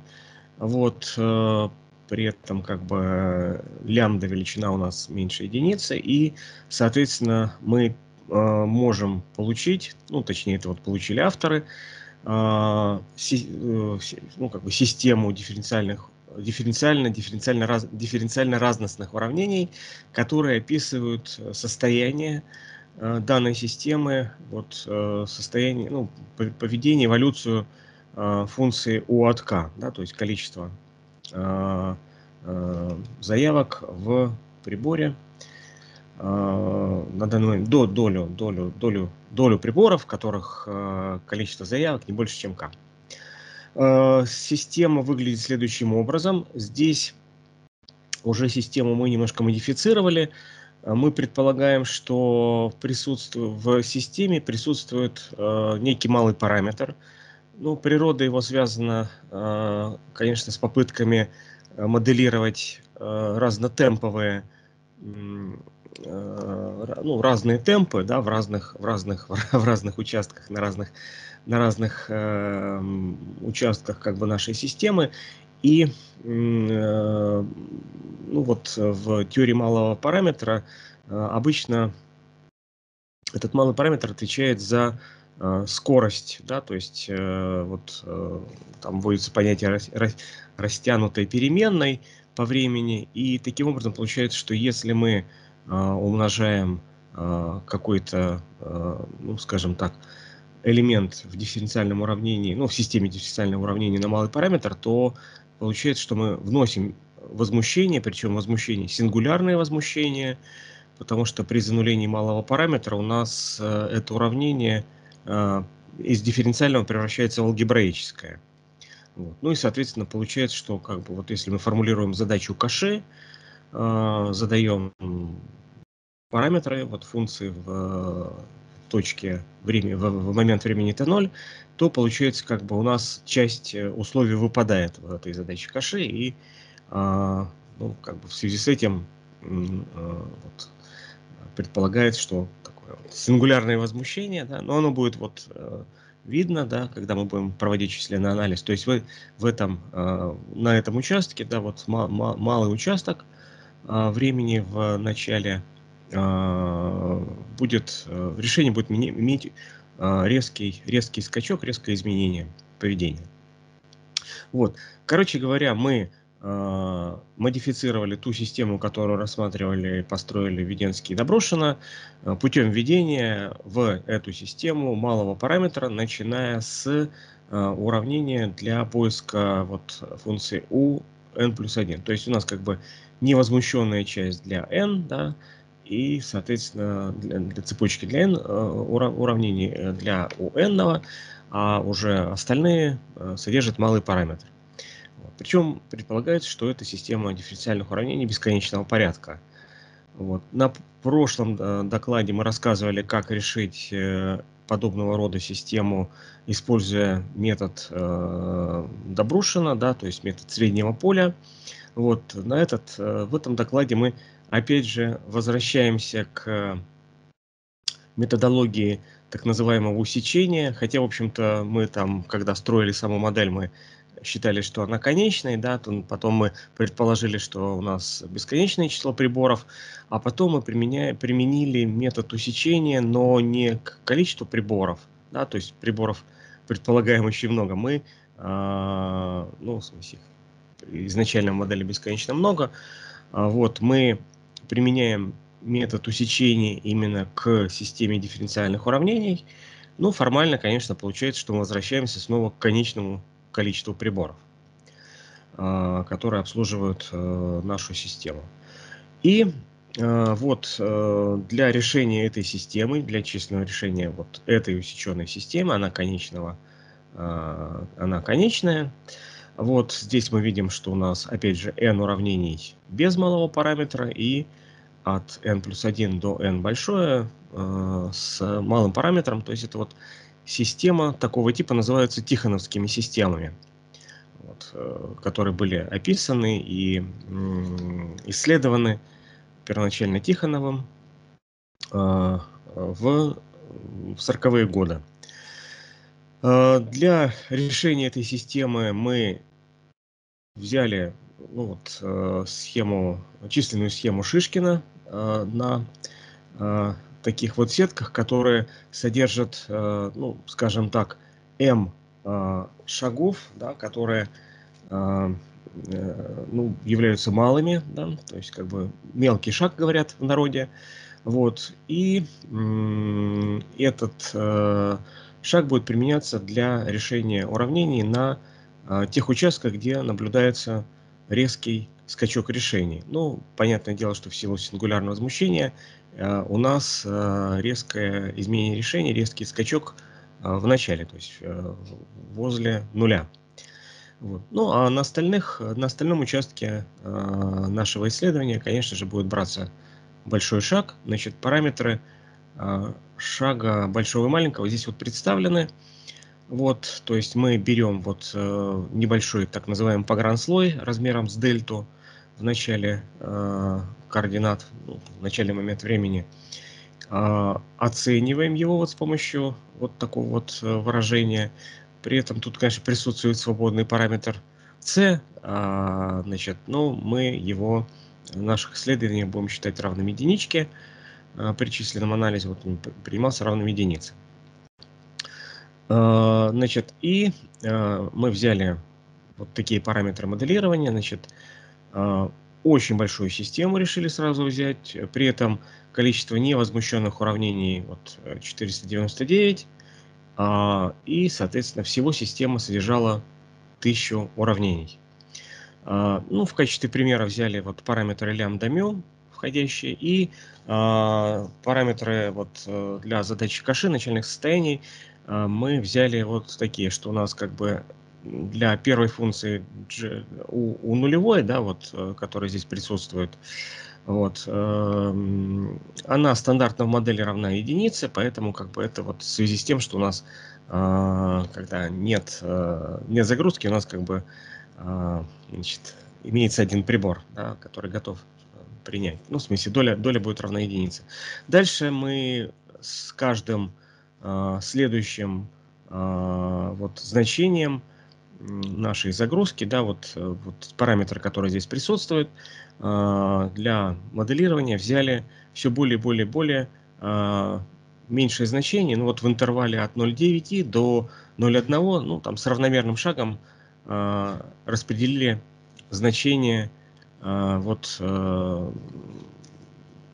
параметра, да, вот, начального значения в задаче каши. Ну, вот, собственно говоря, получились такие численные результаты, они здесь представлены. Видно, что имеется вот, э, значит, это вот у нас э, сверху наблюдается такая невозмущенная, ну, как бы а, невозмущенная часть, а, да, вот сверху, а, а вот в нижней части графика видно поведение решений для возмущенной части. Ну, в принципе, система целиком возмущенная, но как бы получается, что решения ведут себя в начале, э, вот, в начальный момент времени достаточно а, резко, да, вот меняется решение, и а, значит, здесь вот мы брали значение малого параметра, одна единичка, одна десятая, одна сотая, да, вот видно такая вот динамика. Потом еще более мел, мелкие значения для малого параметра, и видно, что в принципе схема работает ну, более или менее нормально, да, она выдерживает такие малые параметры. И э, двигаемся дальше. Здесь уже совершенно четко вот наблюдается такой погранслой э, в начале, да, для вот э, решений, которые там, от э, там, 500 до 1000, да, вот здесь, ну, конечно, мы взяли такие вот иллюстративные примеры, конечно, там можно было такую э, вывести все функции, но, пожалуй, там визуализация бы очень сильно пострадала. Наиболее репрезентативные э, решения вот здесь вот представлены. И еще более мелкий э, малый параметр. Видим, что опять же численная, численный метод работает, да, то есть он позволяет э, решать и видеть, как себя ведут э, вот, решения для очень и очень очень маленьких значений малого параметра. Вот таким образом мы вот обкатали численную схему с э, вот Шишкина на этой системе, а, и она показала довольно хорошие, а, ну, очень-очень-очень приемлемые а, результаты, я считаю. Вот. Э, ну, пожалуй, я на этом остановлюсь. Готов ответить на ваши вопросы.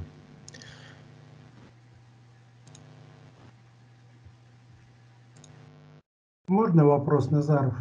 Да, да, да, да, да. Скажите, пожалуйста, в вашей системе, в исходной, могут быть свободные приборы и в то же время где-то накапливается очередь. Ну, смотрите, сама дисциплина обслуживания такая, что, конечно же, это теоретически возможно, потому что у нас поступает заявка, вот здесь вот э, дисциплина Да. описана, Вижу.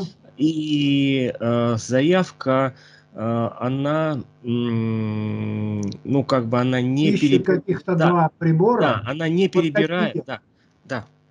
Да, то есть вот э, в той модели, которую предложила Веденская, да, то есть э, случайным образом выбираются два прибора, но понятное дело, что они могут оказаться отнюдь не самыми выгодными с точки зрения длины. Ну, как бы, да, и получается, что, конечно же, да, может быть ситуация, что а, вот э, очередь... Попали на прибор, у которого есть очередь, и там выбрали более короткую из двух и встала в ту очередь. Да. Поведение достаточно глупое у этой заявки.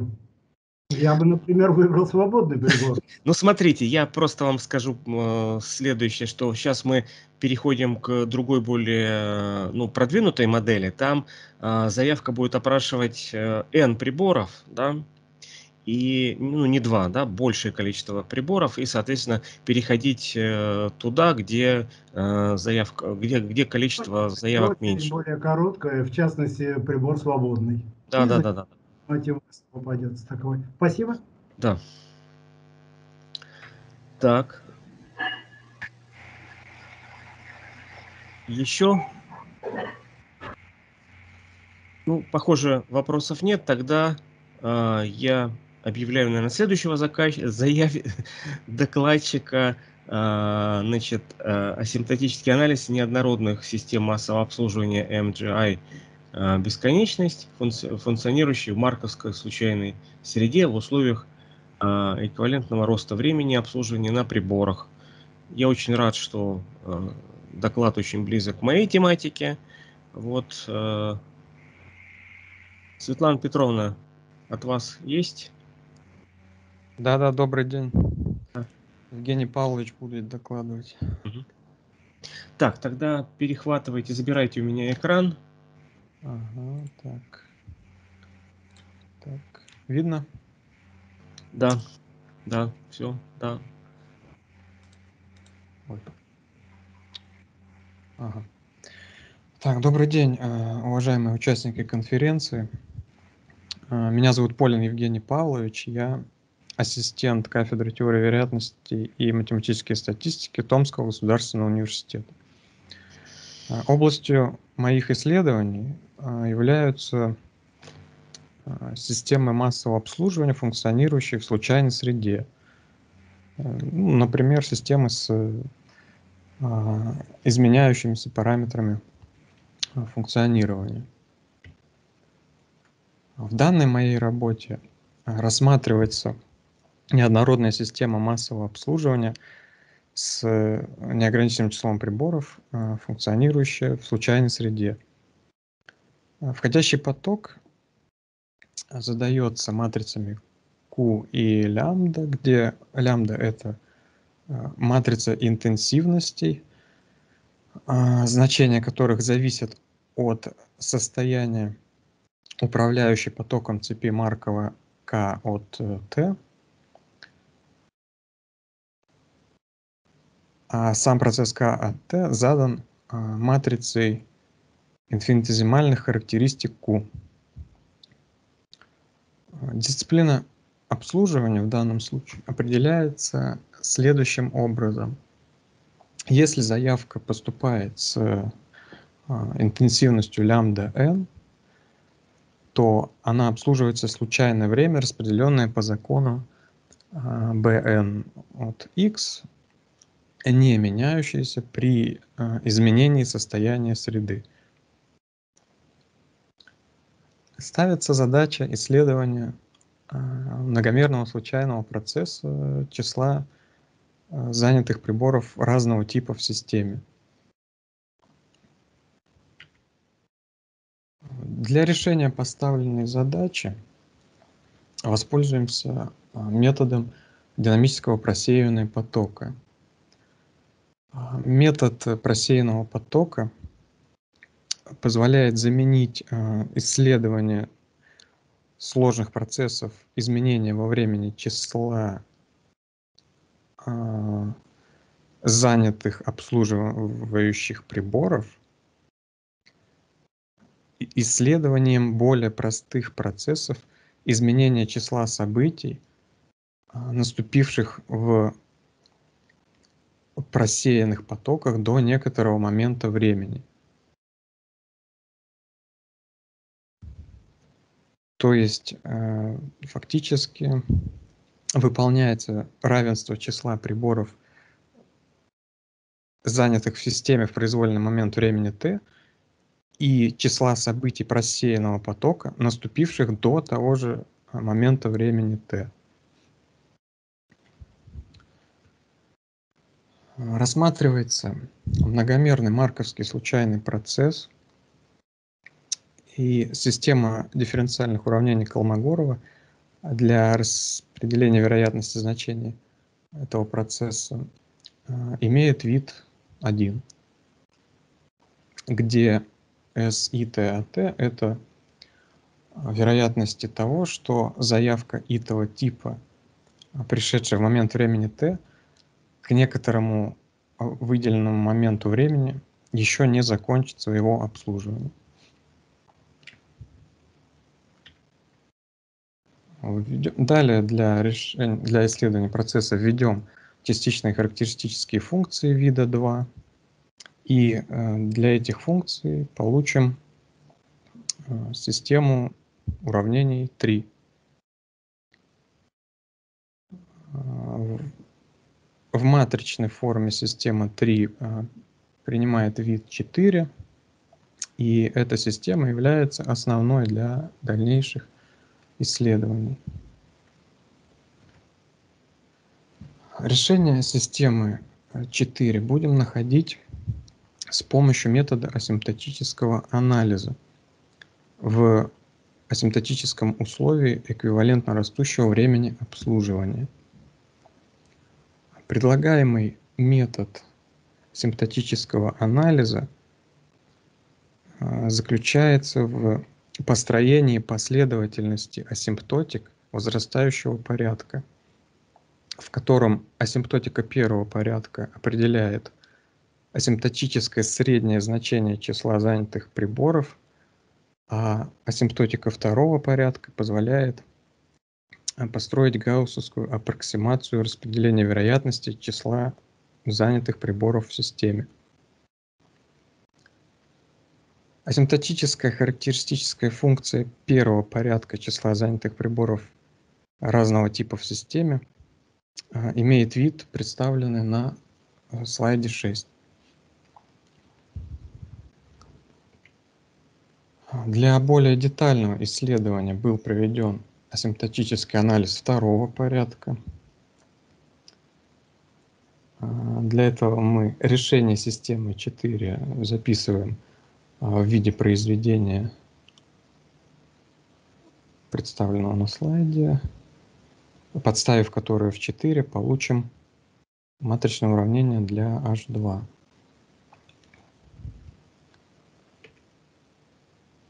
Далее, э, выполняя необходимые преобразования,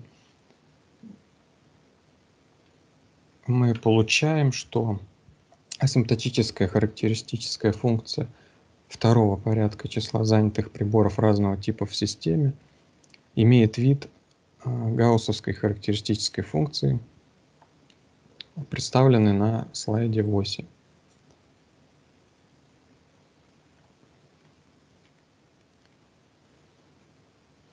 Если в случае, если изменяющаяся внешняя среда принимает только два различных состояния, характеристическая функция второго порядка числа занятых приборов а, в системе имеет вид H2, э, представленный на слайде 9.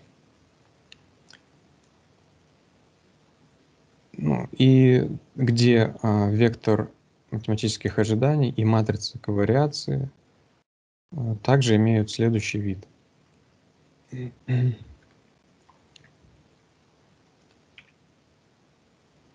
Для оценки области применимости асимптотических результатов э, был проведен численный анализ э, для двумерного распределения в случае различных распределений времени обслуживания. А, этот э, численный анализ был проведен путем сравнения распределений с эмпирическим распределением, найденным с помощью имитационного моделирования.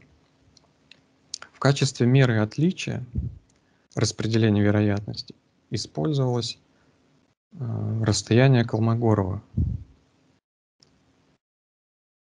между функциями распределения.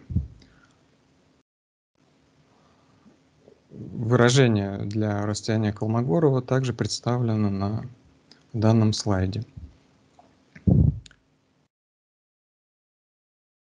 С ростом времени обслуживания, а, то есть было установлено, что а, с ростом времени обслуживания асимптотические значения дают а, более точный результат. Но при имитационном моделировании в данном случае выборка была, ну, скажем так, небольшая, потому что большая выборка требует уже больших э, временных затрат, так скажем. Ну, то есть э, это задача еще для дальнейших исследований также.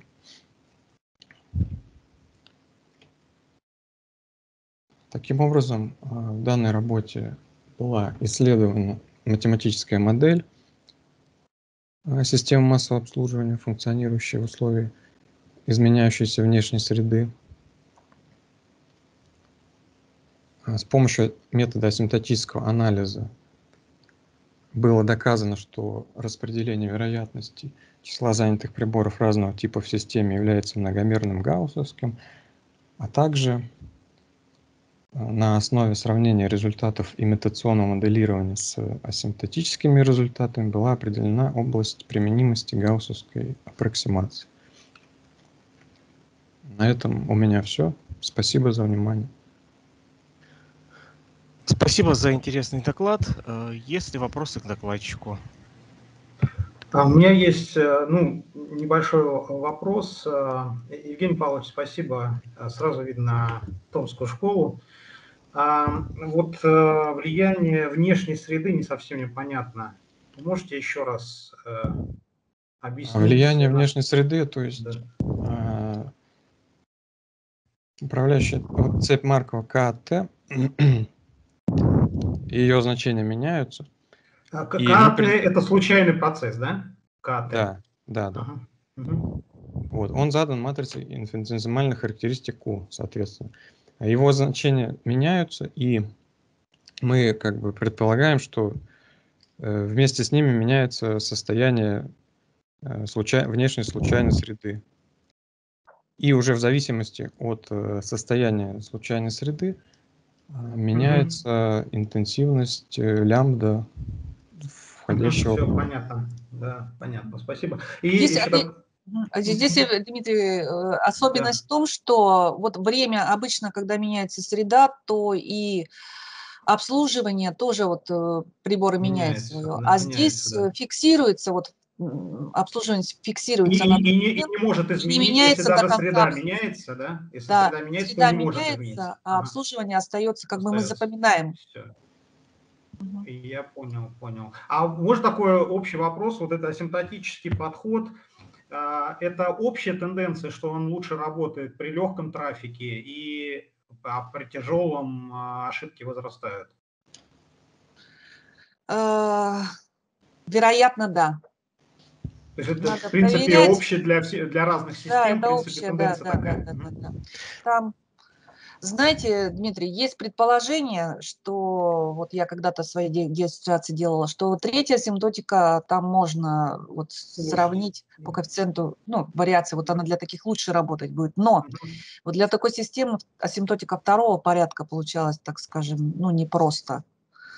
Угу. Не, ну, надо думать, да. Ну, я вот тоже добавлю, да, я тоже вот строим мы всякие асимптотические, применяем всякие асимптотические методы, и честно скажу, что при э, тяжелом трафике э, вот э, качество приближения значительно ухудшается. То есть это а общая насколько он тяжелым должен быть этот трафик? То есть вот насколько э, вот от этого Ну, как вот, сбалансированного э, состояния? Метрику мы вводить пока еще не, не- до метрики Мгм. дело не дошло, но вот просто имеется тенденция, да, то есть Мгм. такая. Понятно, Да. спасибо. Так, еще вопросы? Ну, Вопросов, похоже, нет. Давайте тогда перейдем к следующему докладу. А, Значит, метод марковского суммирования для исследования потока повторных обращений к двухфазной системе MAPGI м, беск- бесконечность с мгновенной обратной связью. Так, э, Здравствуйте, коллеги. мгм.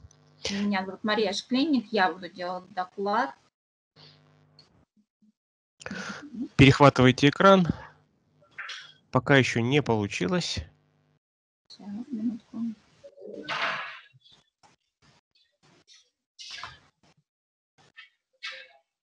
Видно? Да. Все нормально, да. Ну, я еще раз всех приветствую, присутствующих э, на данном заседании. Меня зовут Мария Шклейник. Я также являюсь ассистенткой кафедры теории вероятностей Томского государственного университета. Представляю вашему вниманию свое исследование, которое называется «Метод марковского суммирования для исследования потока повторных обращений в двухфазной э, системе э, с входящим мап-потоком заявок и произвольным временем обслуживания. А, Ну, э, уже несколько раз, да, на сегодняшнем даже заседании было озвучено, что системы массового обслуживания, они являются хорошей математической моделью для исследования процессов в производственных, экономических, социальных системах, а также для исследования характеристик а, коммуникационных э, сетей. А, Зачастую на практике имеется потребность э, циркуляции заявки в системе, то есть ее возвращение в систему для повторного обслуживания.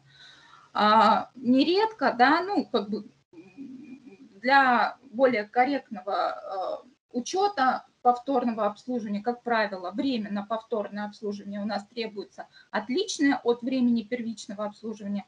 И для учета этого факта мы будем а, представлять такие модели, как в виде двухфазных систем массового обслуживания.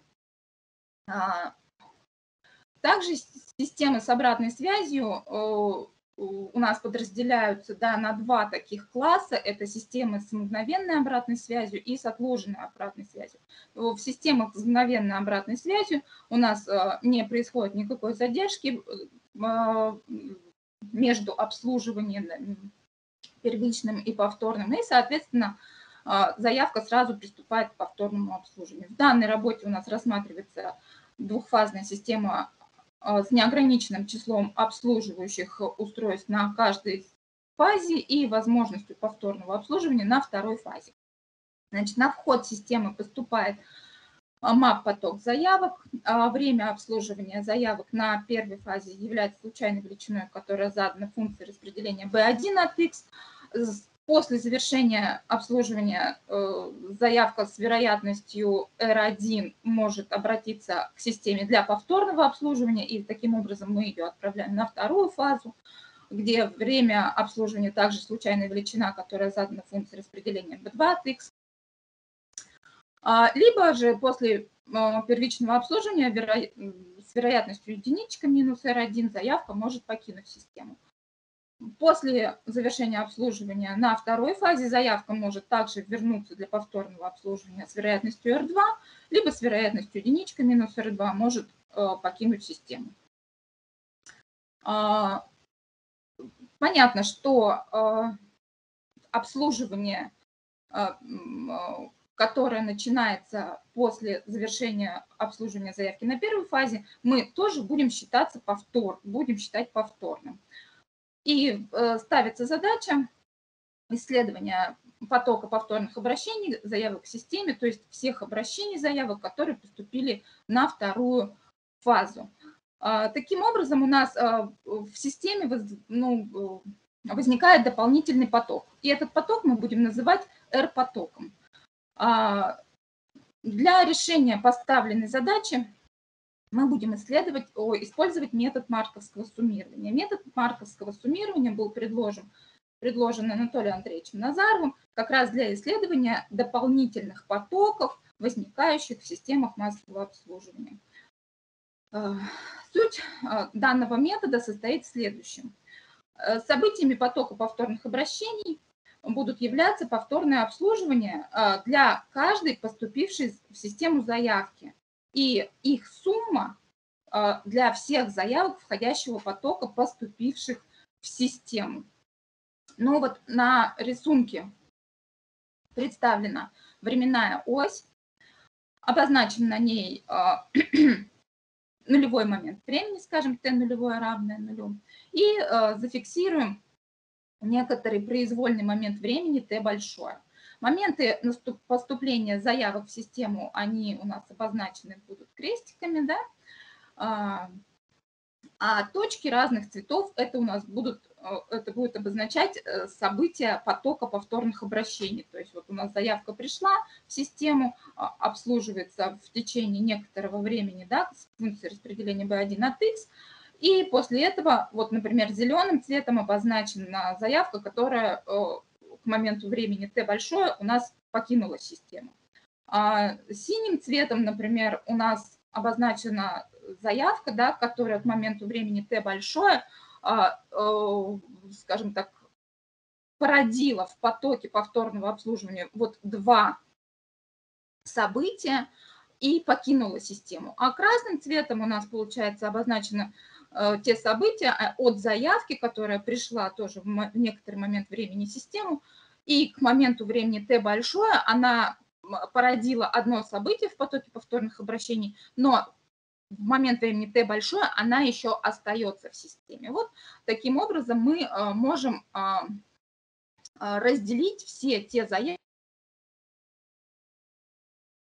систему исходящего потока да, на такие три типа, которые поступили в систему от t нулевого до t большого. Да. Мы предполагаем, что в начальный момент времени у нас система вообще пуста, то есть в ней нет обслуживаемых заявок.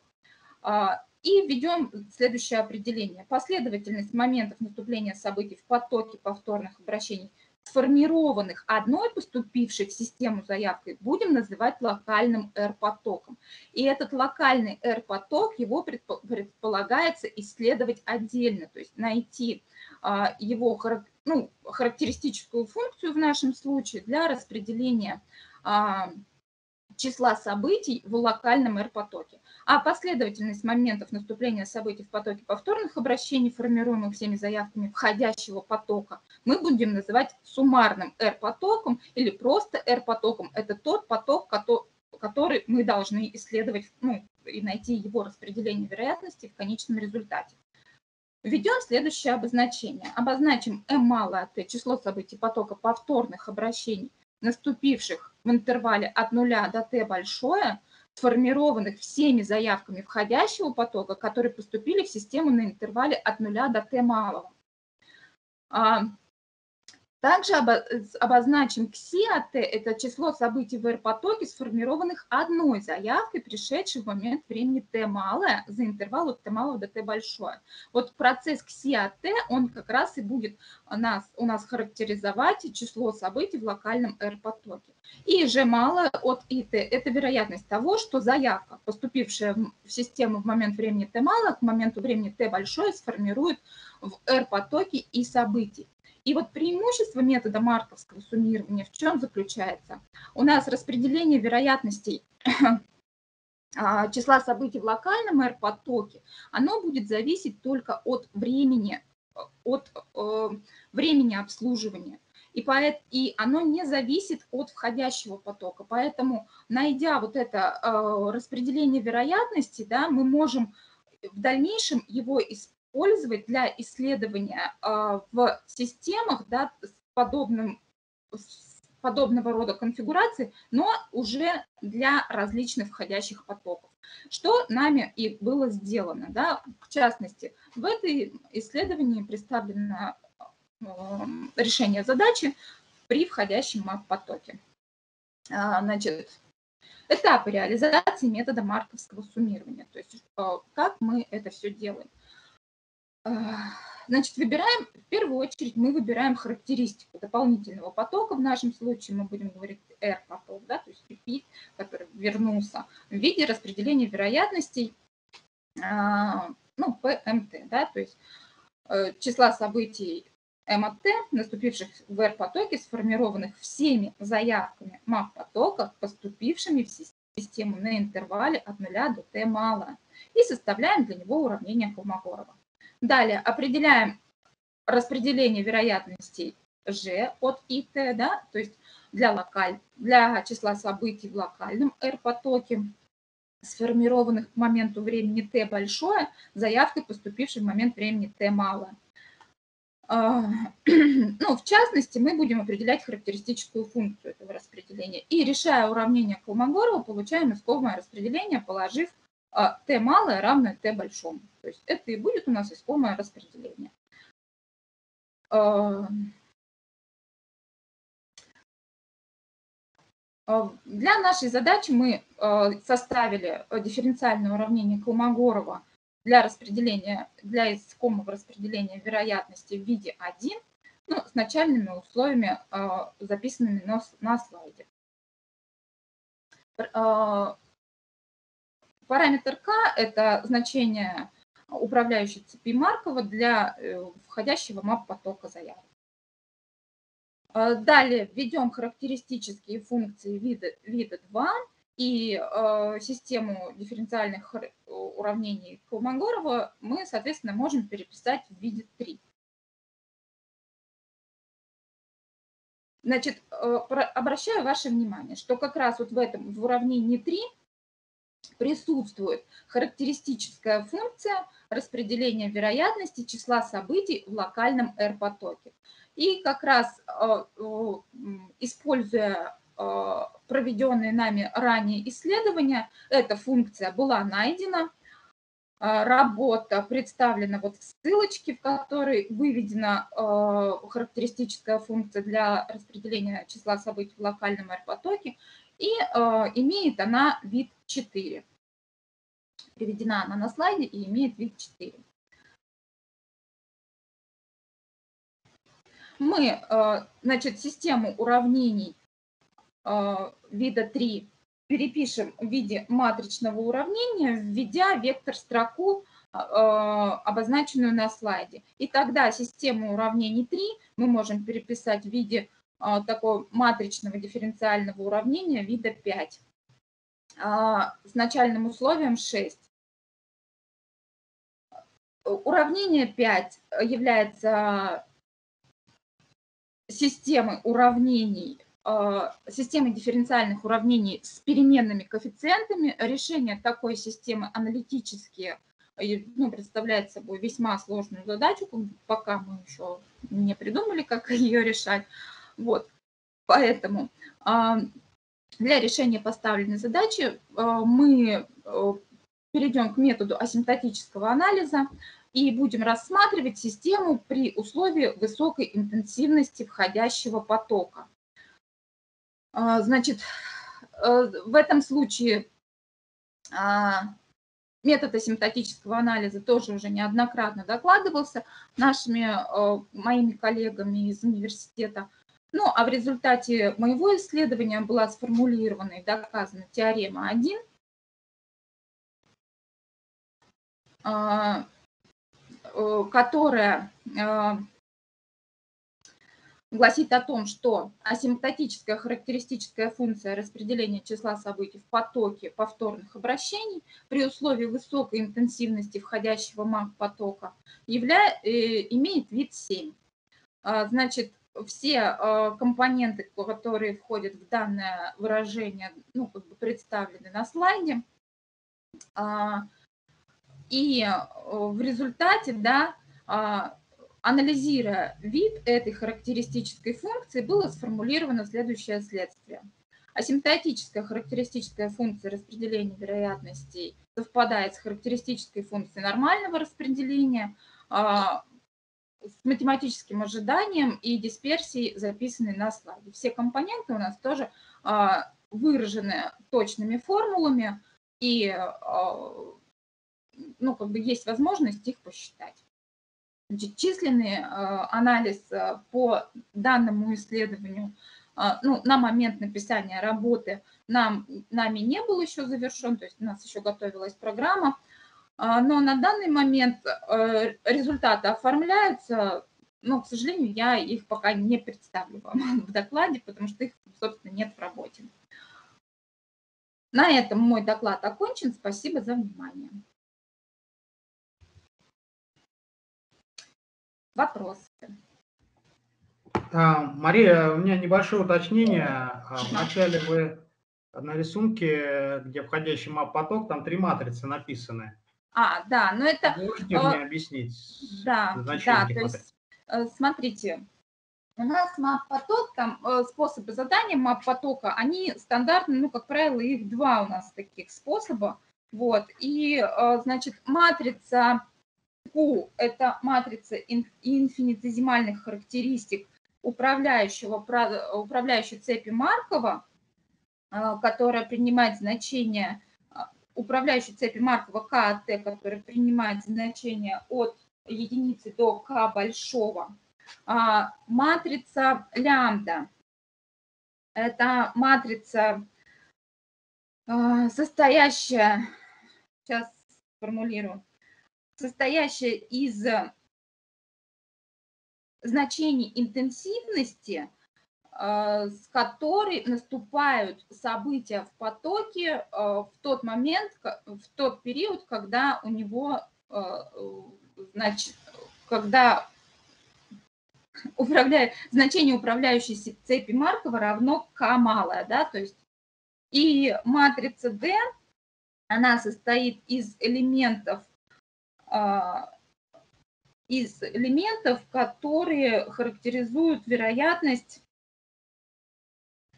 то есть одна матрица связана с, просто э, с переходами без поступлений, другая переходы да, с поступлениями. Да, да, да. И лямбда да, плюс d равно q, правильно? Да, да, да, все а, верно. Все, все, я вот, только вот это хотел знать. Ага. И, и э, такой небольшой вопрос. Э, там на, на, где-то написано высокая интенсивность мап, мап потока. То да. есть имеется в виду высокая средняя интенсивность поступления? Да, то есть, смотрите, сейчас я вот. А, значит, а, вот она средняя ага. интенсивность поступления, и мы вводим некоторый параметр высокой интенсивности, да, и, соответственно, мап-поток у нас тогда матрицы входящего мап-потока, они будут немножко изменены, то есть у нас получается NQ и N лямбда. А вот э, можно узнать, если мы э, зафиксируем э, среднюю интенсивность поступления, зафиксируем коэффициент вариации, длину интервалов между моментами поступления, но параметры потока будем так менять, что у нас будет очень сильно изменяться ну, коэффициент корреляции. Вот как-то это будет влиять на поведение системы и на качество асимптотического приближения? Так, еще раз. Мы зафик...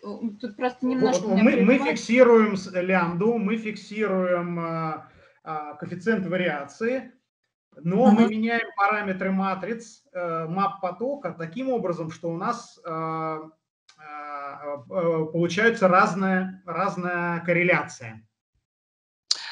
Можно уточнить, Дмитрий, вот э, вы сказали, тут Машу немножко в ступор вы говорите, лямбду зафиксировали, да? То есть не, э, не лямбду лямбду маленькую, среднее, среднее зафиксировали. А, сря... среднее зафиксировали. Да, да, среднее зафиксировали, зафиксировали коэффициент вариации. И а, э, коэффициент корреляции, он, он зависит от коэффициента вариации и от, там, от вот этих вот матриц. Вы можете матрицы менять по-разному, но у вас будет одинаковая лямбда маленькая Я и поняла, одинаковая да. коэффициент вариации. Вот у меня вопрос, если так подбирать параметры, что у вас ну, вот эти средние значения будут одинаковые, но корреляция сильно различаться, будет ли это как-то влиять на качество асимптотического а, вот этого приближения, потому что в реальной ситуации получается так, что только чистая одна корреляция может очень сильно влиять там, на среднее число заявок в системе, там, на какие-то э, другие Я- параметры производительности. Так, э, Моисеев, тут А на связи, ответ да. как соавтор. Я могу сказать от э, авторов большое спасибо за вопрос. Мы, наверное, обязательно должны это попробовать исследовать, но мы не пробовали. Вот. Ну Ответ хорошо, я- да. это просто интересно, потому что я э, использовал эти мапы, и удивительным образом вот при фиксации средних значений, если только корреляция меняется, значительные расхождения получаются в результатах. То есть вот э, и использование, это, во-первых, оправдывает вообще использование мап потоков как таковых. Вот, а с другой стороны, э, дает еще возможность вот э, в новом как бы направлении двигаться. Да, хорошо, спасибо. Надо попробовать обязательно, посмотреть, что получается. Спасибо за доклад, очень интересно. Так, ну, еще вопро- вопросы еще есть? Спасибо за доклад. Э, Давайте переходим к следующему. Спасибо. Да, значит, значит, ну, приглашается э, докладчик э, с докладом определения показателей долговечности распределенной коммуникационной сети метеостанции с э, ну, минимальной э, конфигурацией.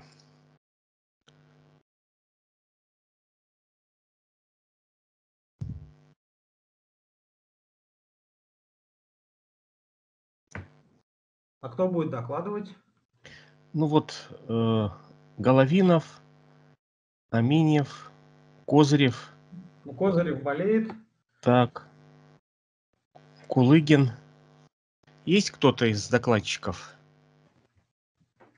Я, честно говоря, не вижу по аватаркам. Э, Да, Кулыгин здесь на месте. Ага. А у нас вообще с Дмитрием Аменевым пополам должно быть. Половина доклада он, половину доклада я. Сейчас я буквально полминуты спрошу, как у него, возможно, у него технические какие-то требования, э, технические сложности возникли. Сейчас уточню и выйду на связь. Ну, может быть, мы э, следующего докладчика послушаем, там, коллеги.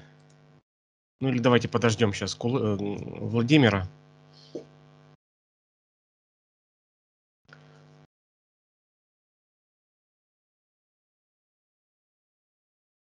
Светлана Петровна, можно пока тут у нас э, небольшой Да, п- да, промежуток? конечно, э, Я просто хотел Анатольевич. сказать, что Да-да. у вас очень интересные доклады. А, Я с большим интересом всегда слушаю, опять же, Томск- э, Томскую школу. И асимптотический анализ, конечно, у вас приоритет вот в ТМО, вне всяких сомнений. Ну, Вот, это, и мы да, всячески вот э, идем в фарватере вашем, пытаемся адаптировать методы по разным направлениям. Вот. Ну, у нас, вот видите, немножко как бы получается асимптотические методы э, в дифференциальных уравнениях, которые Ну, Это описывают. тоже интересно. Сергей Анатольевич, мы вас с удовольствием пригласи, приглашаем на наш семинар, семинар Анатолия Андреевича. Он у нас идет в среду в 12.35, но по, вашей школе, по вашему времени это получается полдевятого. И С вашими учениками в онлайне, мы пока сейчас все в онлайне сидим, поэтому приглашаем, послушайте наши работы и ваших ребят. Ну, там у нас Спасибо. очень свободная, неограниченная по времени форма общения. Ну, вот основная проблема. здравствуйте. Да. Да, у меня тут немножко слетает интернет. Э, Амин Дмитрий, у меня следующий доклад по определению долговечности распределенной телекоммуникационной сети метеостанций. Меня слышно? Да-да, Дмитрий, слышно. Давайте за- пе- перехватывайте экран. Ага, А звук тоже будет у меня перехвачен тогда? Ну да, Да. звук, звук он автоматом, если вы включили микрофончик, вас слышно. Давайте вот А. там, знаете, да, как перехватить экран? Сверху, справа есть кнопка вот возле. «Выйти». Вот уже перехватил, наверное, меня будет сейчас видно, да? Пока Видно нет, сейчас это. ждем, ждем.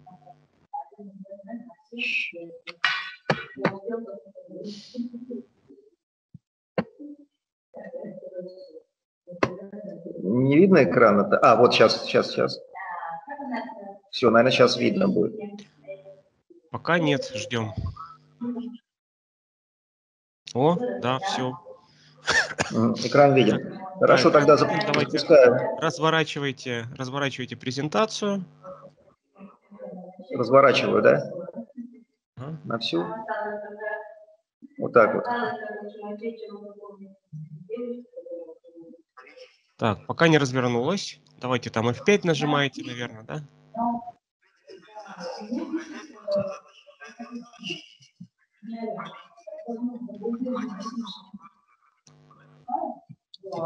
Вот, теперь все, нормально. Давайте, вам слово.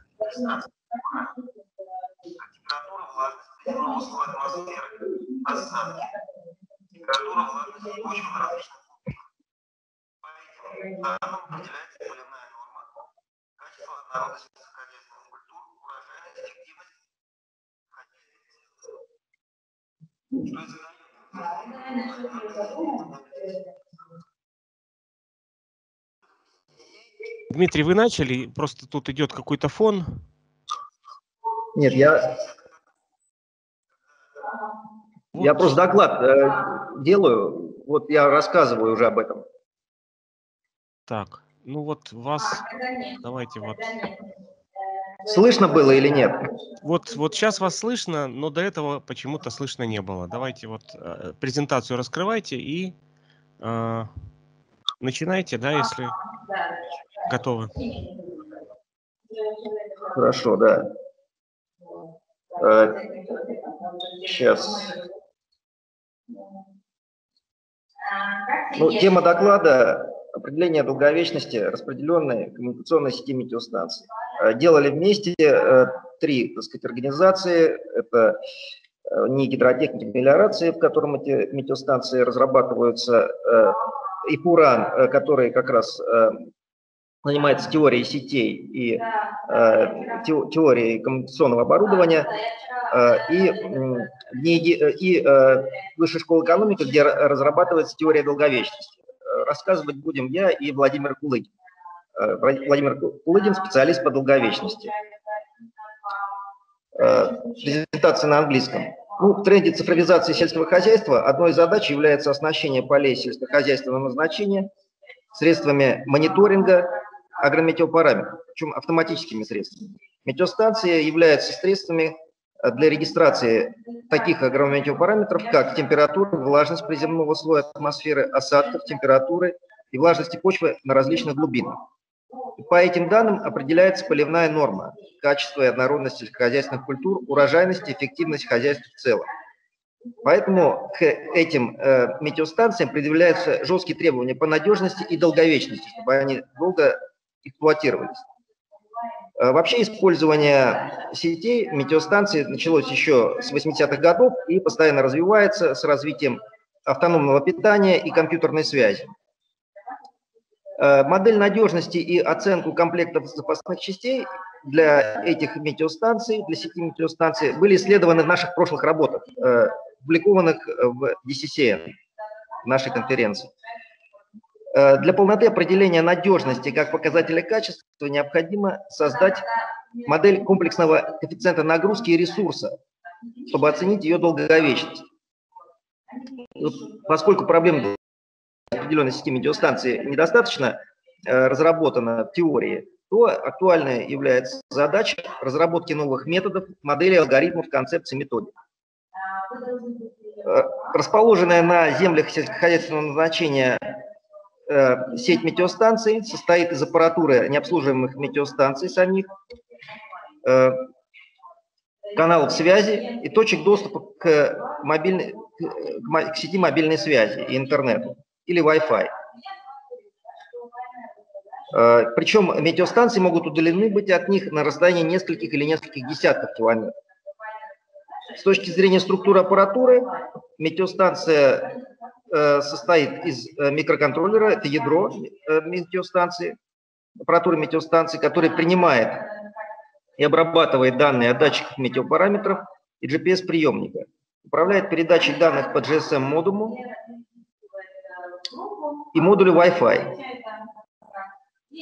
Э, и э, телеметрия э, и данные местоположения передаются в сеть интернет на мониторинговый сервер для дальнейшей обработки, анализа и представления данных оператору. Мониторинговый сервер. И здесь видно, что метеостанции, они объединяются в такую сеть, AWS Network. AWS Network. Можно при этом в любой момент времени считывать параметры с любой метеостанции и определять ее местоположение. Здесь ниже представлены фотографии аппарат, аппаратных частей того же э, модема, GSM-модема, Wi-Fi модуля, GPS-приемника, датчиков, источник питания и прочего. Э, дальше слайд расскажет Владимир Кулыгин. Для Владимир? оценки, да, я здесь. Для оценки ресурса ага. радиоэлементов в облегченном режиме в современных стандартах приводится математическая модель, где ресурс элемента в облегченном режиме считается как ресурс элемента в режиме предельно допустимым по техническим условиям, деленный на коэффициент нагрузки элемента. При этом конкретных формул для расчета коэффициента нагрузки не приводится. При этом поскольку при ресурсных испытаниях коэффициент ускорения рассчитывается аналогично коэффициенту для эксплуатационной интенсивности отказов, для оценки ресурса элементов в зависимости от режима применения мы можем использовать модель оценки коэффициента модель оценки из моделей по надежности. Модель оценки коэффициента нагрузки можно представить в виде соотношения коэффициентов предельно допустимом режиме и в режиме применения. При этом коэффициенты модели эксплуатационной интенсивности отказов элементов можно разделить на две группы, где одна зависит от условий применения, а другая остается постоянной и зависит исключительно от типа номинала элемента.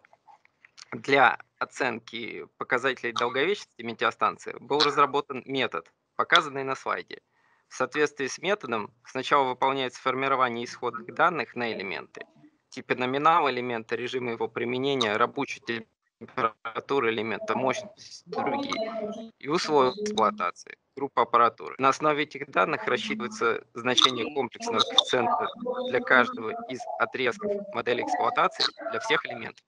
Далее, на основе модели эксплуатации элементов и рассчитанных значений комплексного коэффициента нагрузки для каждого из режимов рассчитываются значения гамма-процентного ресурса элементов в циклическом режиме, исходя из критерия предельного состояния, указанного в технических заданиях на метеостанцию и полученных данных о гамма-процентных ресурсах элементов определяется значение гамма-процентного ресурса метеостанции – и на его основе рассчитываются прочие необходимые показатели долговечности, которые были заданы в требованиях по технического задания.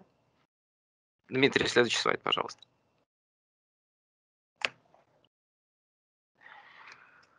Методика позволяет оценить показатели долговечности как всего комплекса метеостанций, так и отдельных узлов, выявить критичные элементы и провести анализ коэффициентов, влияющих на характеристики долговечности конкретного элемента – и выдать рекомендации по изменениям режимов применения или требования для подбора аналогов по данному элементу, обеспечивающему требуемые показатели долговечности.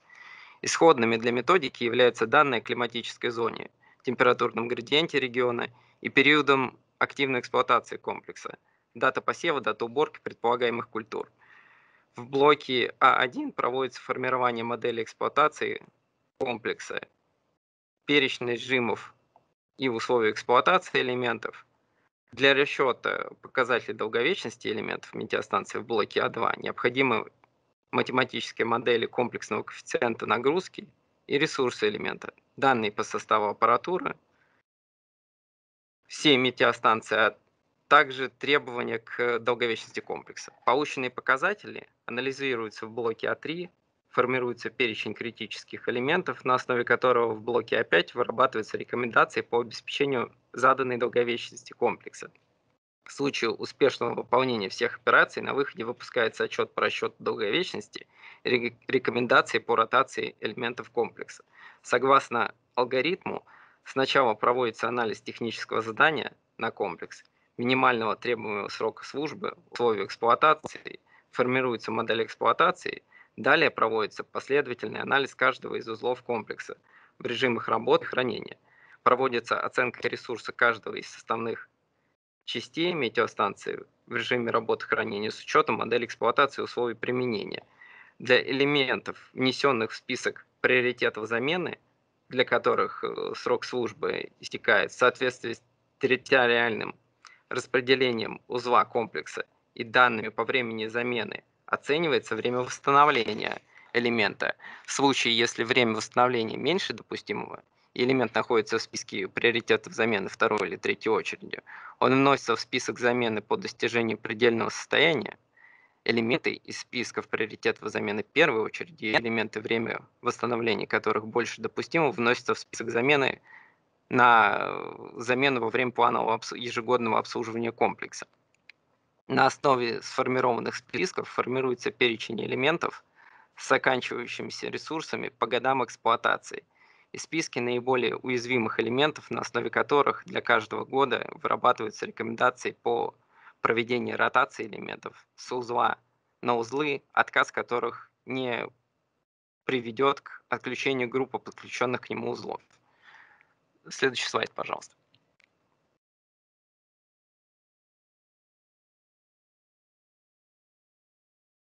Дмитрий, следующий слайд.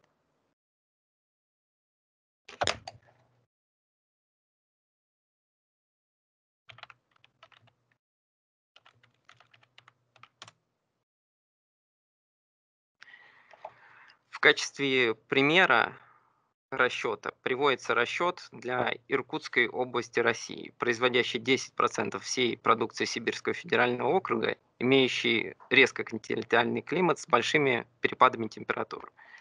Градиент температур приведен на графике. При этом в летние месяцы, в солнечные дни, а их порядка 35%, температура может достигать 35 градусов выше, а в зимние месяцы опускаться до минус 45. При этом метеостанция находится в режиме работы 7 месяцев и 5 месяцев в режиме хранения. Для упрощения расчетов температуры окружающей среды были усреднены по сезонам и приводятся в таблице на слайде. В таких условиях наиболее уязвимыми становятся интегральные микросхемы, на базе которых построены основные блоки метеостанции при воздействии высоких температур – и аккумуляторные батареи при воздействии низких температур. Для оценки ресурса используется математическая модель, которая приводилась в методе, частный вид, который в соответствии с делением на сезоны представлен на слайде. Также в соответствии с методом была произведена оценка коэффициентов интенсивности эксплуатации для микросхемы аккумуляторных батарей, ну, как самых э, уязвимых частей. В результате результаты расчета также приведены на слайде. В соответствии с расчетами срок службы интегральных микросхем составляет примерно 11 лет, что перекрывает требования к сроку службы всей метеостанции в 10 лет и не требует никаких дальнейших действий. При этом наиболее критичным элементом системы является в условиях эксплуатации вне помещений аккумуляторной батареи. Сроки хранения аккумуляторных батарей в соответствии с условиями снижается в 2,86 раза относительно хранения в отапливаемом помещении, что в общей сумме снизит срок службы аккумуляторов на 16 месяцев. Отсюда целесообразно дать рекомендацию разукомплектовывать метеостанцию аккумуляторными батареями с последующей переноской их в отапливаемое помещение на период простоя. Таким образом, срок эксплуатации метеостанции обеспечивается в течение 10 лет с учетом однократной замены аккумуляторных батарей по истечению 5 лет эксплуатации – и замены датчиков э, каждые два года, поскольку на них приведен в технических условиях э, ресурс в течение двух лет. Я закончил. Выводы докладывает Дмитрий. Спасибо большое за такой интересный доклад. Есть ли вопросы к докладчикам?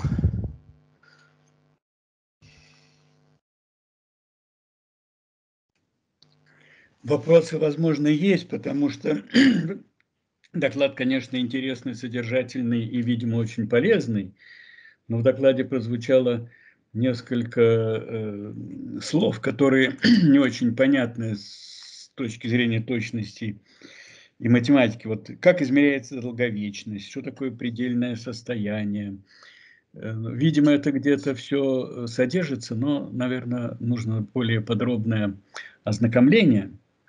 И было бы интересно послушать подробный, подробный рассказ про такую работу, ну, скажем, на нашем семинаре, Сергей Васильевич.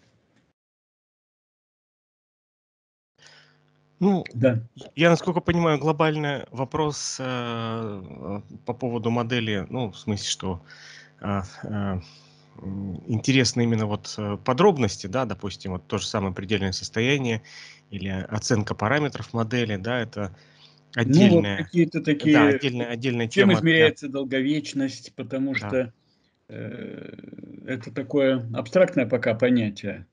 Это что, среднее значение Э, времени безотказной работы или что-то другое?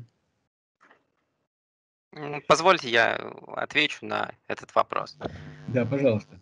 Ну, в соответствии с определениями, долго... Долго... показателем долговечности является ресурс и срок службы. Оба эти показателя измеряются в часах. А вообще для чего нужна долговечность?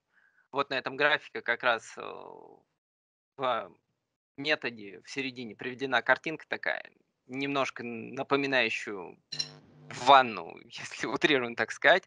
А, суть этой картинки заключается в том, что долговечность считается для того, чтобы узнать период времени, в течение которого вероятность безотказной работы, которая была посчитана методами для расчета вероятности безотказной работы, является актуальной. А, конкретнее про эту картинку, у него есть э, три участка. Первый – это э, участок переработки, это когда элемент только-только вошел в эксплуатацию, это, как правило, на заводе, заводе изготовителя происходит его переработка, когда какие-то дефекты изготовления, как правило, выявляются и э, дефектные элементы отказывают.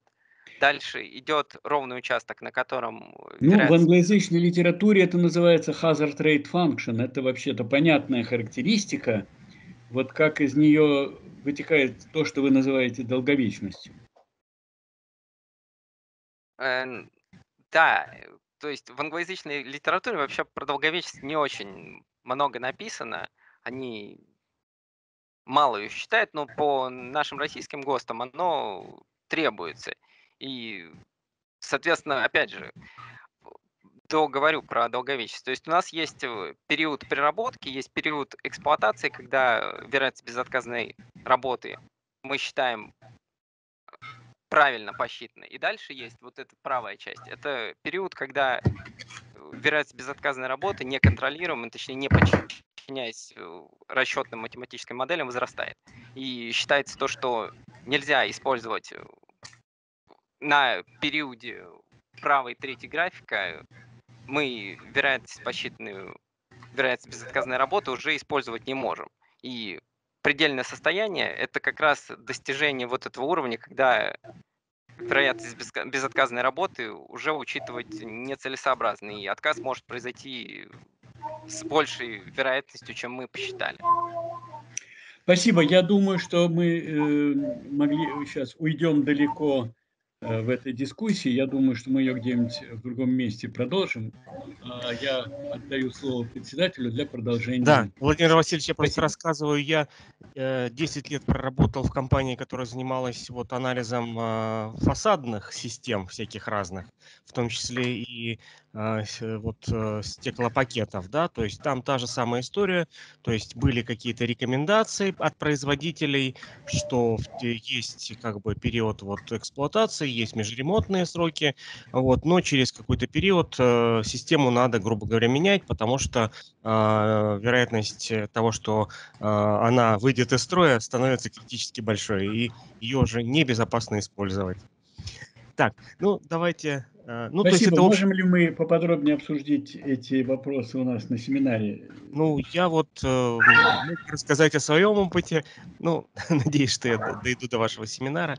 Это очень интересный вопрос э, и очень, э, скажем так, с экономикой очень сильно завязан, потому что вы понимаете, что это деньги, да? Понимаю, конечно, и... да, спасибо. Что... Но да. не будем отрывать да. сейчас время да. конфер... да, конференции. Значит, я думаю, что мы с вами это обсудим как-нибудь э, в кулуарном порядке. Спасибо. Окей. Okay. Uh, uh, I think that uh, there is um, uh, next uh, uh, next step. Uh, I would like to pre pre present so next next talk software packages for uh, teaching querying uh, uh, theory. is there a speaker here? Yes, uh, but I asked the organizers to put me to the presenters because at this moment I am just an attendee and I cannot share my slides. But but you you you get it. Uh, okay, no, I had, I have.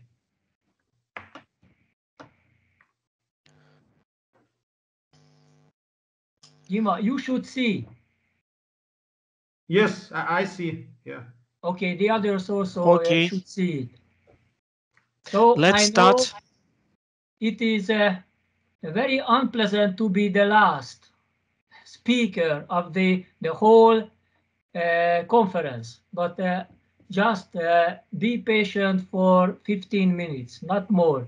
It is uh, not so science, it's about teaching. It's about teaching, and maybe that will be uh, the the uh, last uh, last talk. Yeah, I am sure that many of the participants and of this session teaching queuing theory. My experience that teaching earlier it was much easier because we taught queuing theory for mathematicians. But due to the Bologna process, uh, it is not belongs to the curriculum of the mathematicians, but it belongs to the curriculum of computer science and computer science engineering students and their mathematical background, uh, I would say it is quite weak. So earlier we proved theorems, I could give homework, and some of them solve the problem. But nowadays, it is just a wish. So if I give the lecture, uh, of course, I show some proofs, but it is mainly of solving problems. And how can we solve the problems? By the help of uh, uh, different packages, software packages. So that is the aim of this presentation, that I show you some software packages, but mainly uh, how to say, not advertise, but draw your attention our uh, latest uh, development. It, it is a, a, queuing theory assistance, and we used it, and it, uh, we introduced this uh, package only in this year in February. And I will show you how many users were uh, of this queuing package. This package was developed of my uh, master students, Zoltán Szilágyi and Csanád Kölcsei. They are uh, both programists and they are working in, in abroad. They are talented students, my former students, and they developed the software. I just gave you, gave them the hints and I checked because exactly they didn't know what is the software about. They just wrote the program and they have no any idea what is behind. Uh, so let's see the uh, outline of my presentation. Uh, software supported uh, solutions, I will show you some links, spreadsheets, also some links, and the main, um, um, how to say, attention should be drawn to the queuing system assistance, that is a software, and I will show you online how this software works. It is just uh, uh, to be sure that uh, mainly some of the um, how is this uh, the attendees uh, do, doesn't know the Candace notation, but I am sure they know. So this is the distribution of the arrival process or the source time, service time, number of servers, capacity, um, source, number of sources, and Z is the um, service discipline. Of course, uh, the aim of this uh, to create or model any problem to get the so-called performance measures, utilization, mean number of customers in the system or the queue, mean response time, waiting time. These are quite easy, quite easy. But uh, the next one, distribution of the response time, waiting time, distribution of the busy period, distribution of number of customers served during a busy period, and in the case of retrial queuing system, distribution of the number of retrials until the service completion. These are really uh, complicated. Of course, uh, these software packages cannot give uh, the solution for this the last three because uh, it is it is over of this. So first, I would like to draw your attention the so-called tool-supported modeling. There are different universities, at the different universities, each created their uh, tools. Uh, you can see it is just a, a few one. Uh, we used the, uh, the tools of University of Erlangen, that is the Moser, and nowadays we use the University of Oxford that is please probabilistic uh, model checking this this one. I just would like to draw your attention. It is um, more advanced. I don't recommend it uh, to the uh, bachelor science students because uh, it is above their knowledge. What we know, uh, how can we use different software packages? Uh, we can visit a home page of this Linkast home page in which there are there are different softwares. I don't want to rob the time. I just show you. I would click it and you can see it.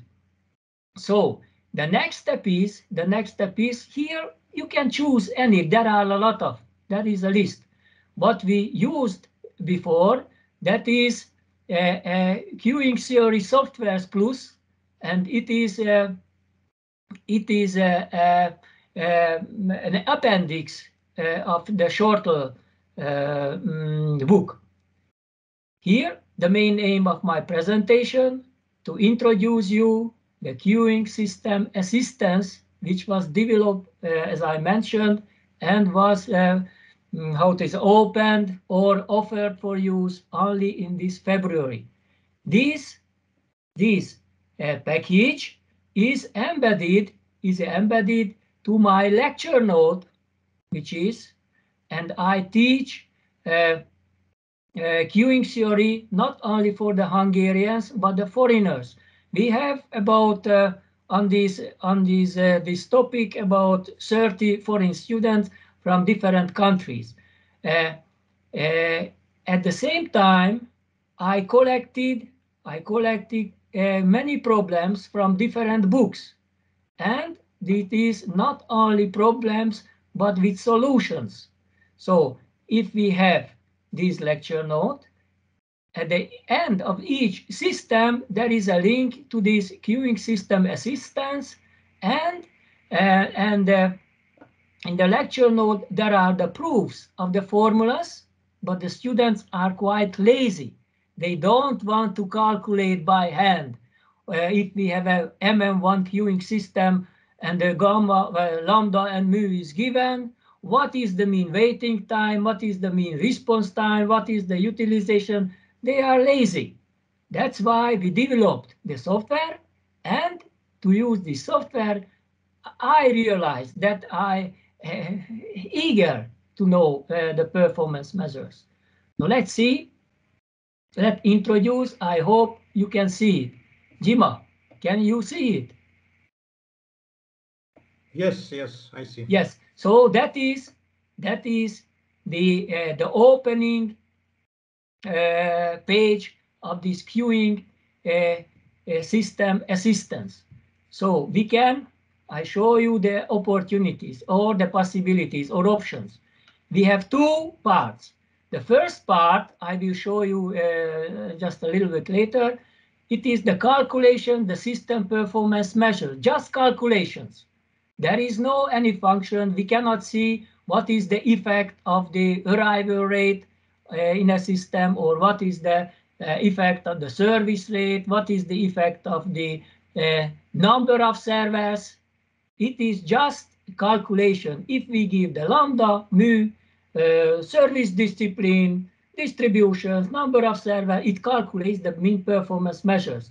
A more interesting one, I will uh, spend some time to this, visualization of the system characteristics. That is the main advantage. That is the main advantage uh, here. So let's see step by step what can we do. Uh, as uh, mainly it is not advertisement, but just uh, uh, tell uh, to my experience. This software can be used or performed not only laptop or desk, but also in mobile phones. And it is very popular with the students because they don't want carry uh, uh, the laptops. They have only a phone and they think that uh, in the phone everything is and and everything is is given. And if they lose or there is a how to say uh, there is no energy or power in their phone, they are they, they, they don't know what to do. Uh, so calculation, the system performance measures. Now let's see. We have to uh, select a system. You see, you can see here that we follow the Kendall's notations, MM1, MM1 with barking, preemptive priority, non-preemptive, and then we have two servers, that is the finite capacity, that is the infinite capacity, that is the Erlang, the Erlang system. The next one here, the next one is, uh, uh, uh, of course, the MMC. Here we can play with the, uh, the C number of servers, finite capacity, uh, multiple servers, finite capacity, but with bulking, reneging, bulking and reneging, and then MG1 uh, in general, in general. But uh, we have, in this case, we can calculate only the mean and variances uh, as usual. But if we have, uh, for the service time, we have hypo with two phases or hyper with three phases with gamma or deterministic and we can calculate everything no, let's turn to the finite, finite source system. In the case of finite source system, we can calculate not only the mean, but uh, the distribution function of the waiting time, distribution function of the response time. It is the same for the multiple servers. Also, it can be calculated. So it is the generalization of this, the finite source, and it is the most it is the most general one finite source multiple service finite capacity. But in that case we cannot calculate the distribution function of the response time. Multiple servers finite capacity uh, finite state bulking renewing and so on and so on. You can see here there are the most most well-known most well-known queuing system. let's see, just for illustration, the easiest one. Uh, the others work similarly. We have to give here,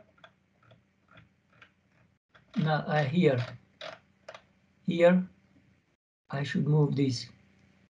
You see, that is the MM one.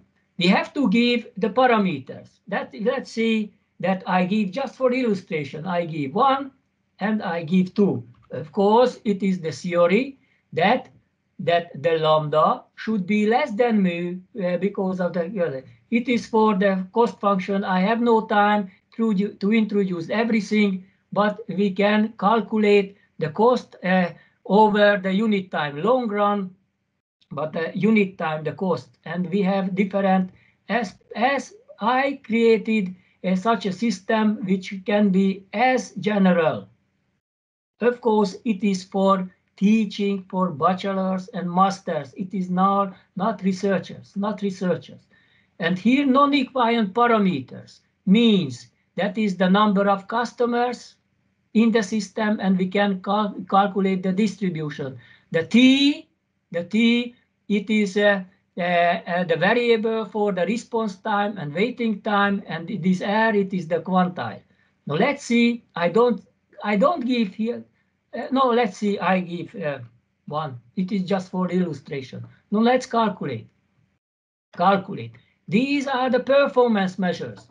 You see the row, row, and here we have the notation, and here, here uh, that is uh, the what is the notation for? You see that is everything is calculable, and the student uh, will use it. They are very lazy. They don't calculate anything. Now let's see here. Here we introduced that is the FIFO. That is the FIFO. Just to see the effect of uh, the service discipline, we can see the variance of the response time. It is for FIFO. It is for the last come first serve, and it is for the CIRO, service in random order.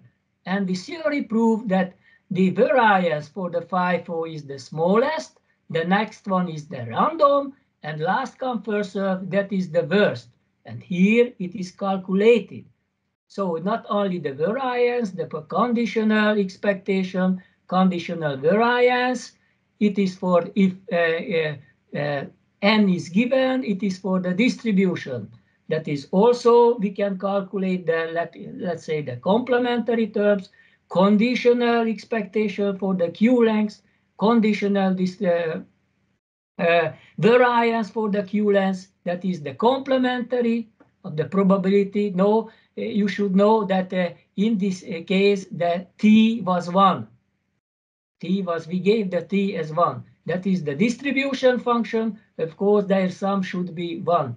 It is the percentages, so everything is given. And what is more interesting, that is the mean number of customers served during a busy cycle variance the customers served in a busy cycle, that probability no uh, the prob n is no is zero.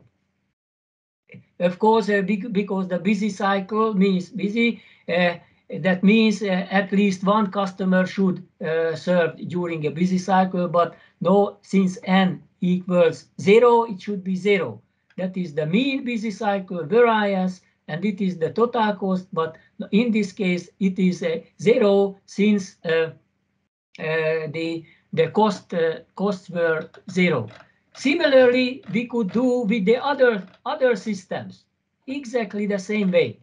No, uh, no, I would like to give your attention uh, to, to the other part.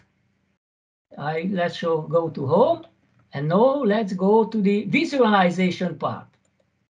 It is more interesting. We have to choose we have to choose a system. For just for illustration, again the MM1, and for the MM1, here we can choose what is the x-axis. The x-axis could be arrival rate, service rate, number of customers, uh, the time for that, and this customer. These are the uh, running parameter and the index. running parameter. Now let's see, I choose lambda. I choose lambda and MM1 choose lambda. Uh, now let's start from 0 point on and let's say till uh, 0.9 and here I can give you the steps. No, let's say 0.1. That is that's decimals. Uh, we can we can see the grids or we don't see the grids. We can we can uh, switch on. Of course, uh, mu mu is always greater than the the latest uh, lambda. That's why I give let's say just illustration two, and I don't give cost parameter. Not no. Let's calculate. What can we see? You see, these are the illustrations. Lambda is the running parameter. In the running parameter, and here we can see what we are interested in. You see, this is the green, it is the utilization. It, uh, of course, uh, rho, it should be the same. Variance, you cannot, you see here, there are four. But since utilization is the row, and in the case of MM1 equals, you cannot see that. If you are interested, not this, but another one, for example, the mean queue length, just open it. Or, or if you are interested in the mean response time and the mean waiting time, we just click it. And then you can, how to say, ask the students, why these two uh, curves are parallel? And they should know the difference between the T and W is the mean service time, that they are parallel, and so on and so on. You see, any, if I'm not interested, let's go what uh, as here, here I switched, and it is the waiting time, it is increasing, because it is the complementary. You see, that is the complementary. Uh, I don't want to, uh, how to say, uh, waste your time. I hope you are interested in, and it is very, very useful in, in, in, in teaching. It is my experience. It is not only my experience, but here I will show you some uh, statistics. Here I can continue, I can see uh, how many users. So here we can see that in the last week, in the last week, uh, 504 users, but now I should see the total. Let's see weeks ago, uh, let's see 35 years ago, update. You see it was in beginning. It is February what you show. It is February. And these large uh, users, it is due to of my lectures because we use in the lectures and we use the seminars. The latest one here, that is the beginning of the summer vacation. Summer vacation. And then that is some uh, slow usages. And now it is, we are over 20,000. And if we are interested in, in which countries it used. For example, in Russia, in Russia, we have almost uh, 400. So dear colleagues, I just encourage you to use this software and you will realize that is very useful for the student and they will like it.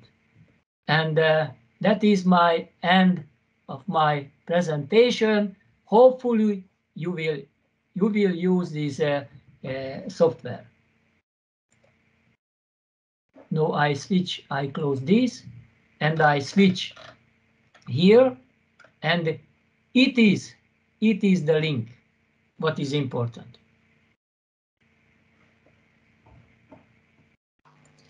Okay, thank you for your presentation.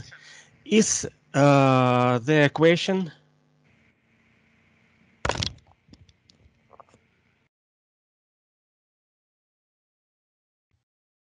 dear colleagues. okay. Uh, I think that the, uh, the test of the pudding is the eating. Very, very interesting, very interesting uh, presentation. Thank you very much. Uh, I think that uh, uh, our plan is over and we finish our section. Dear colleagues, I wish uh, good health, everybody.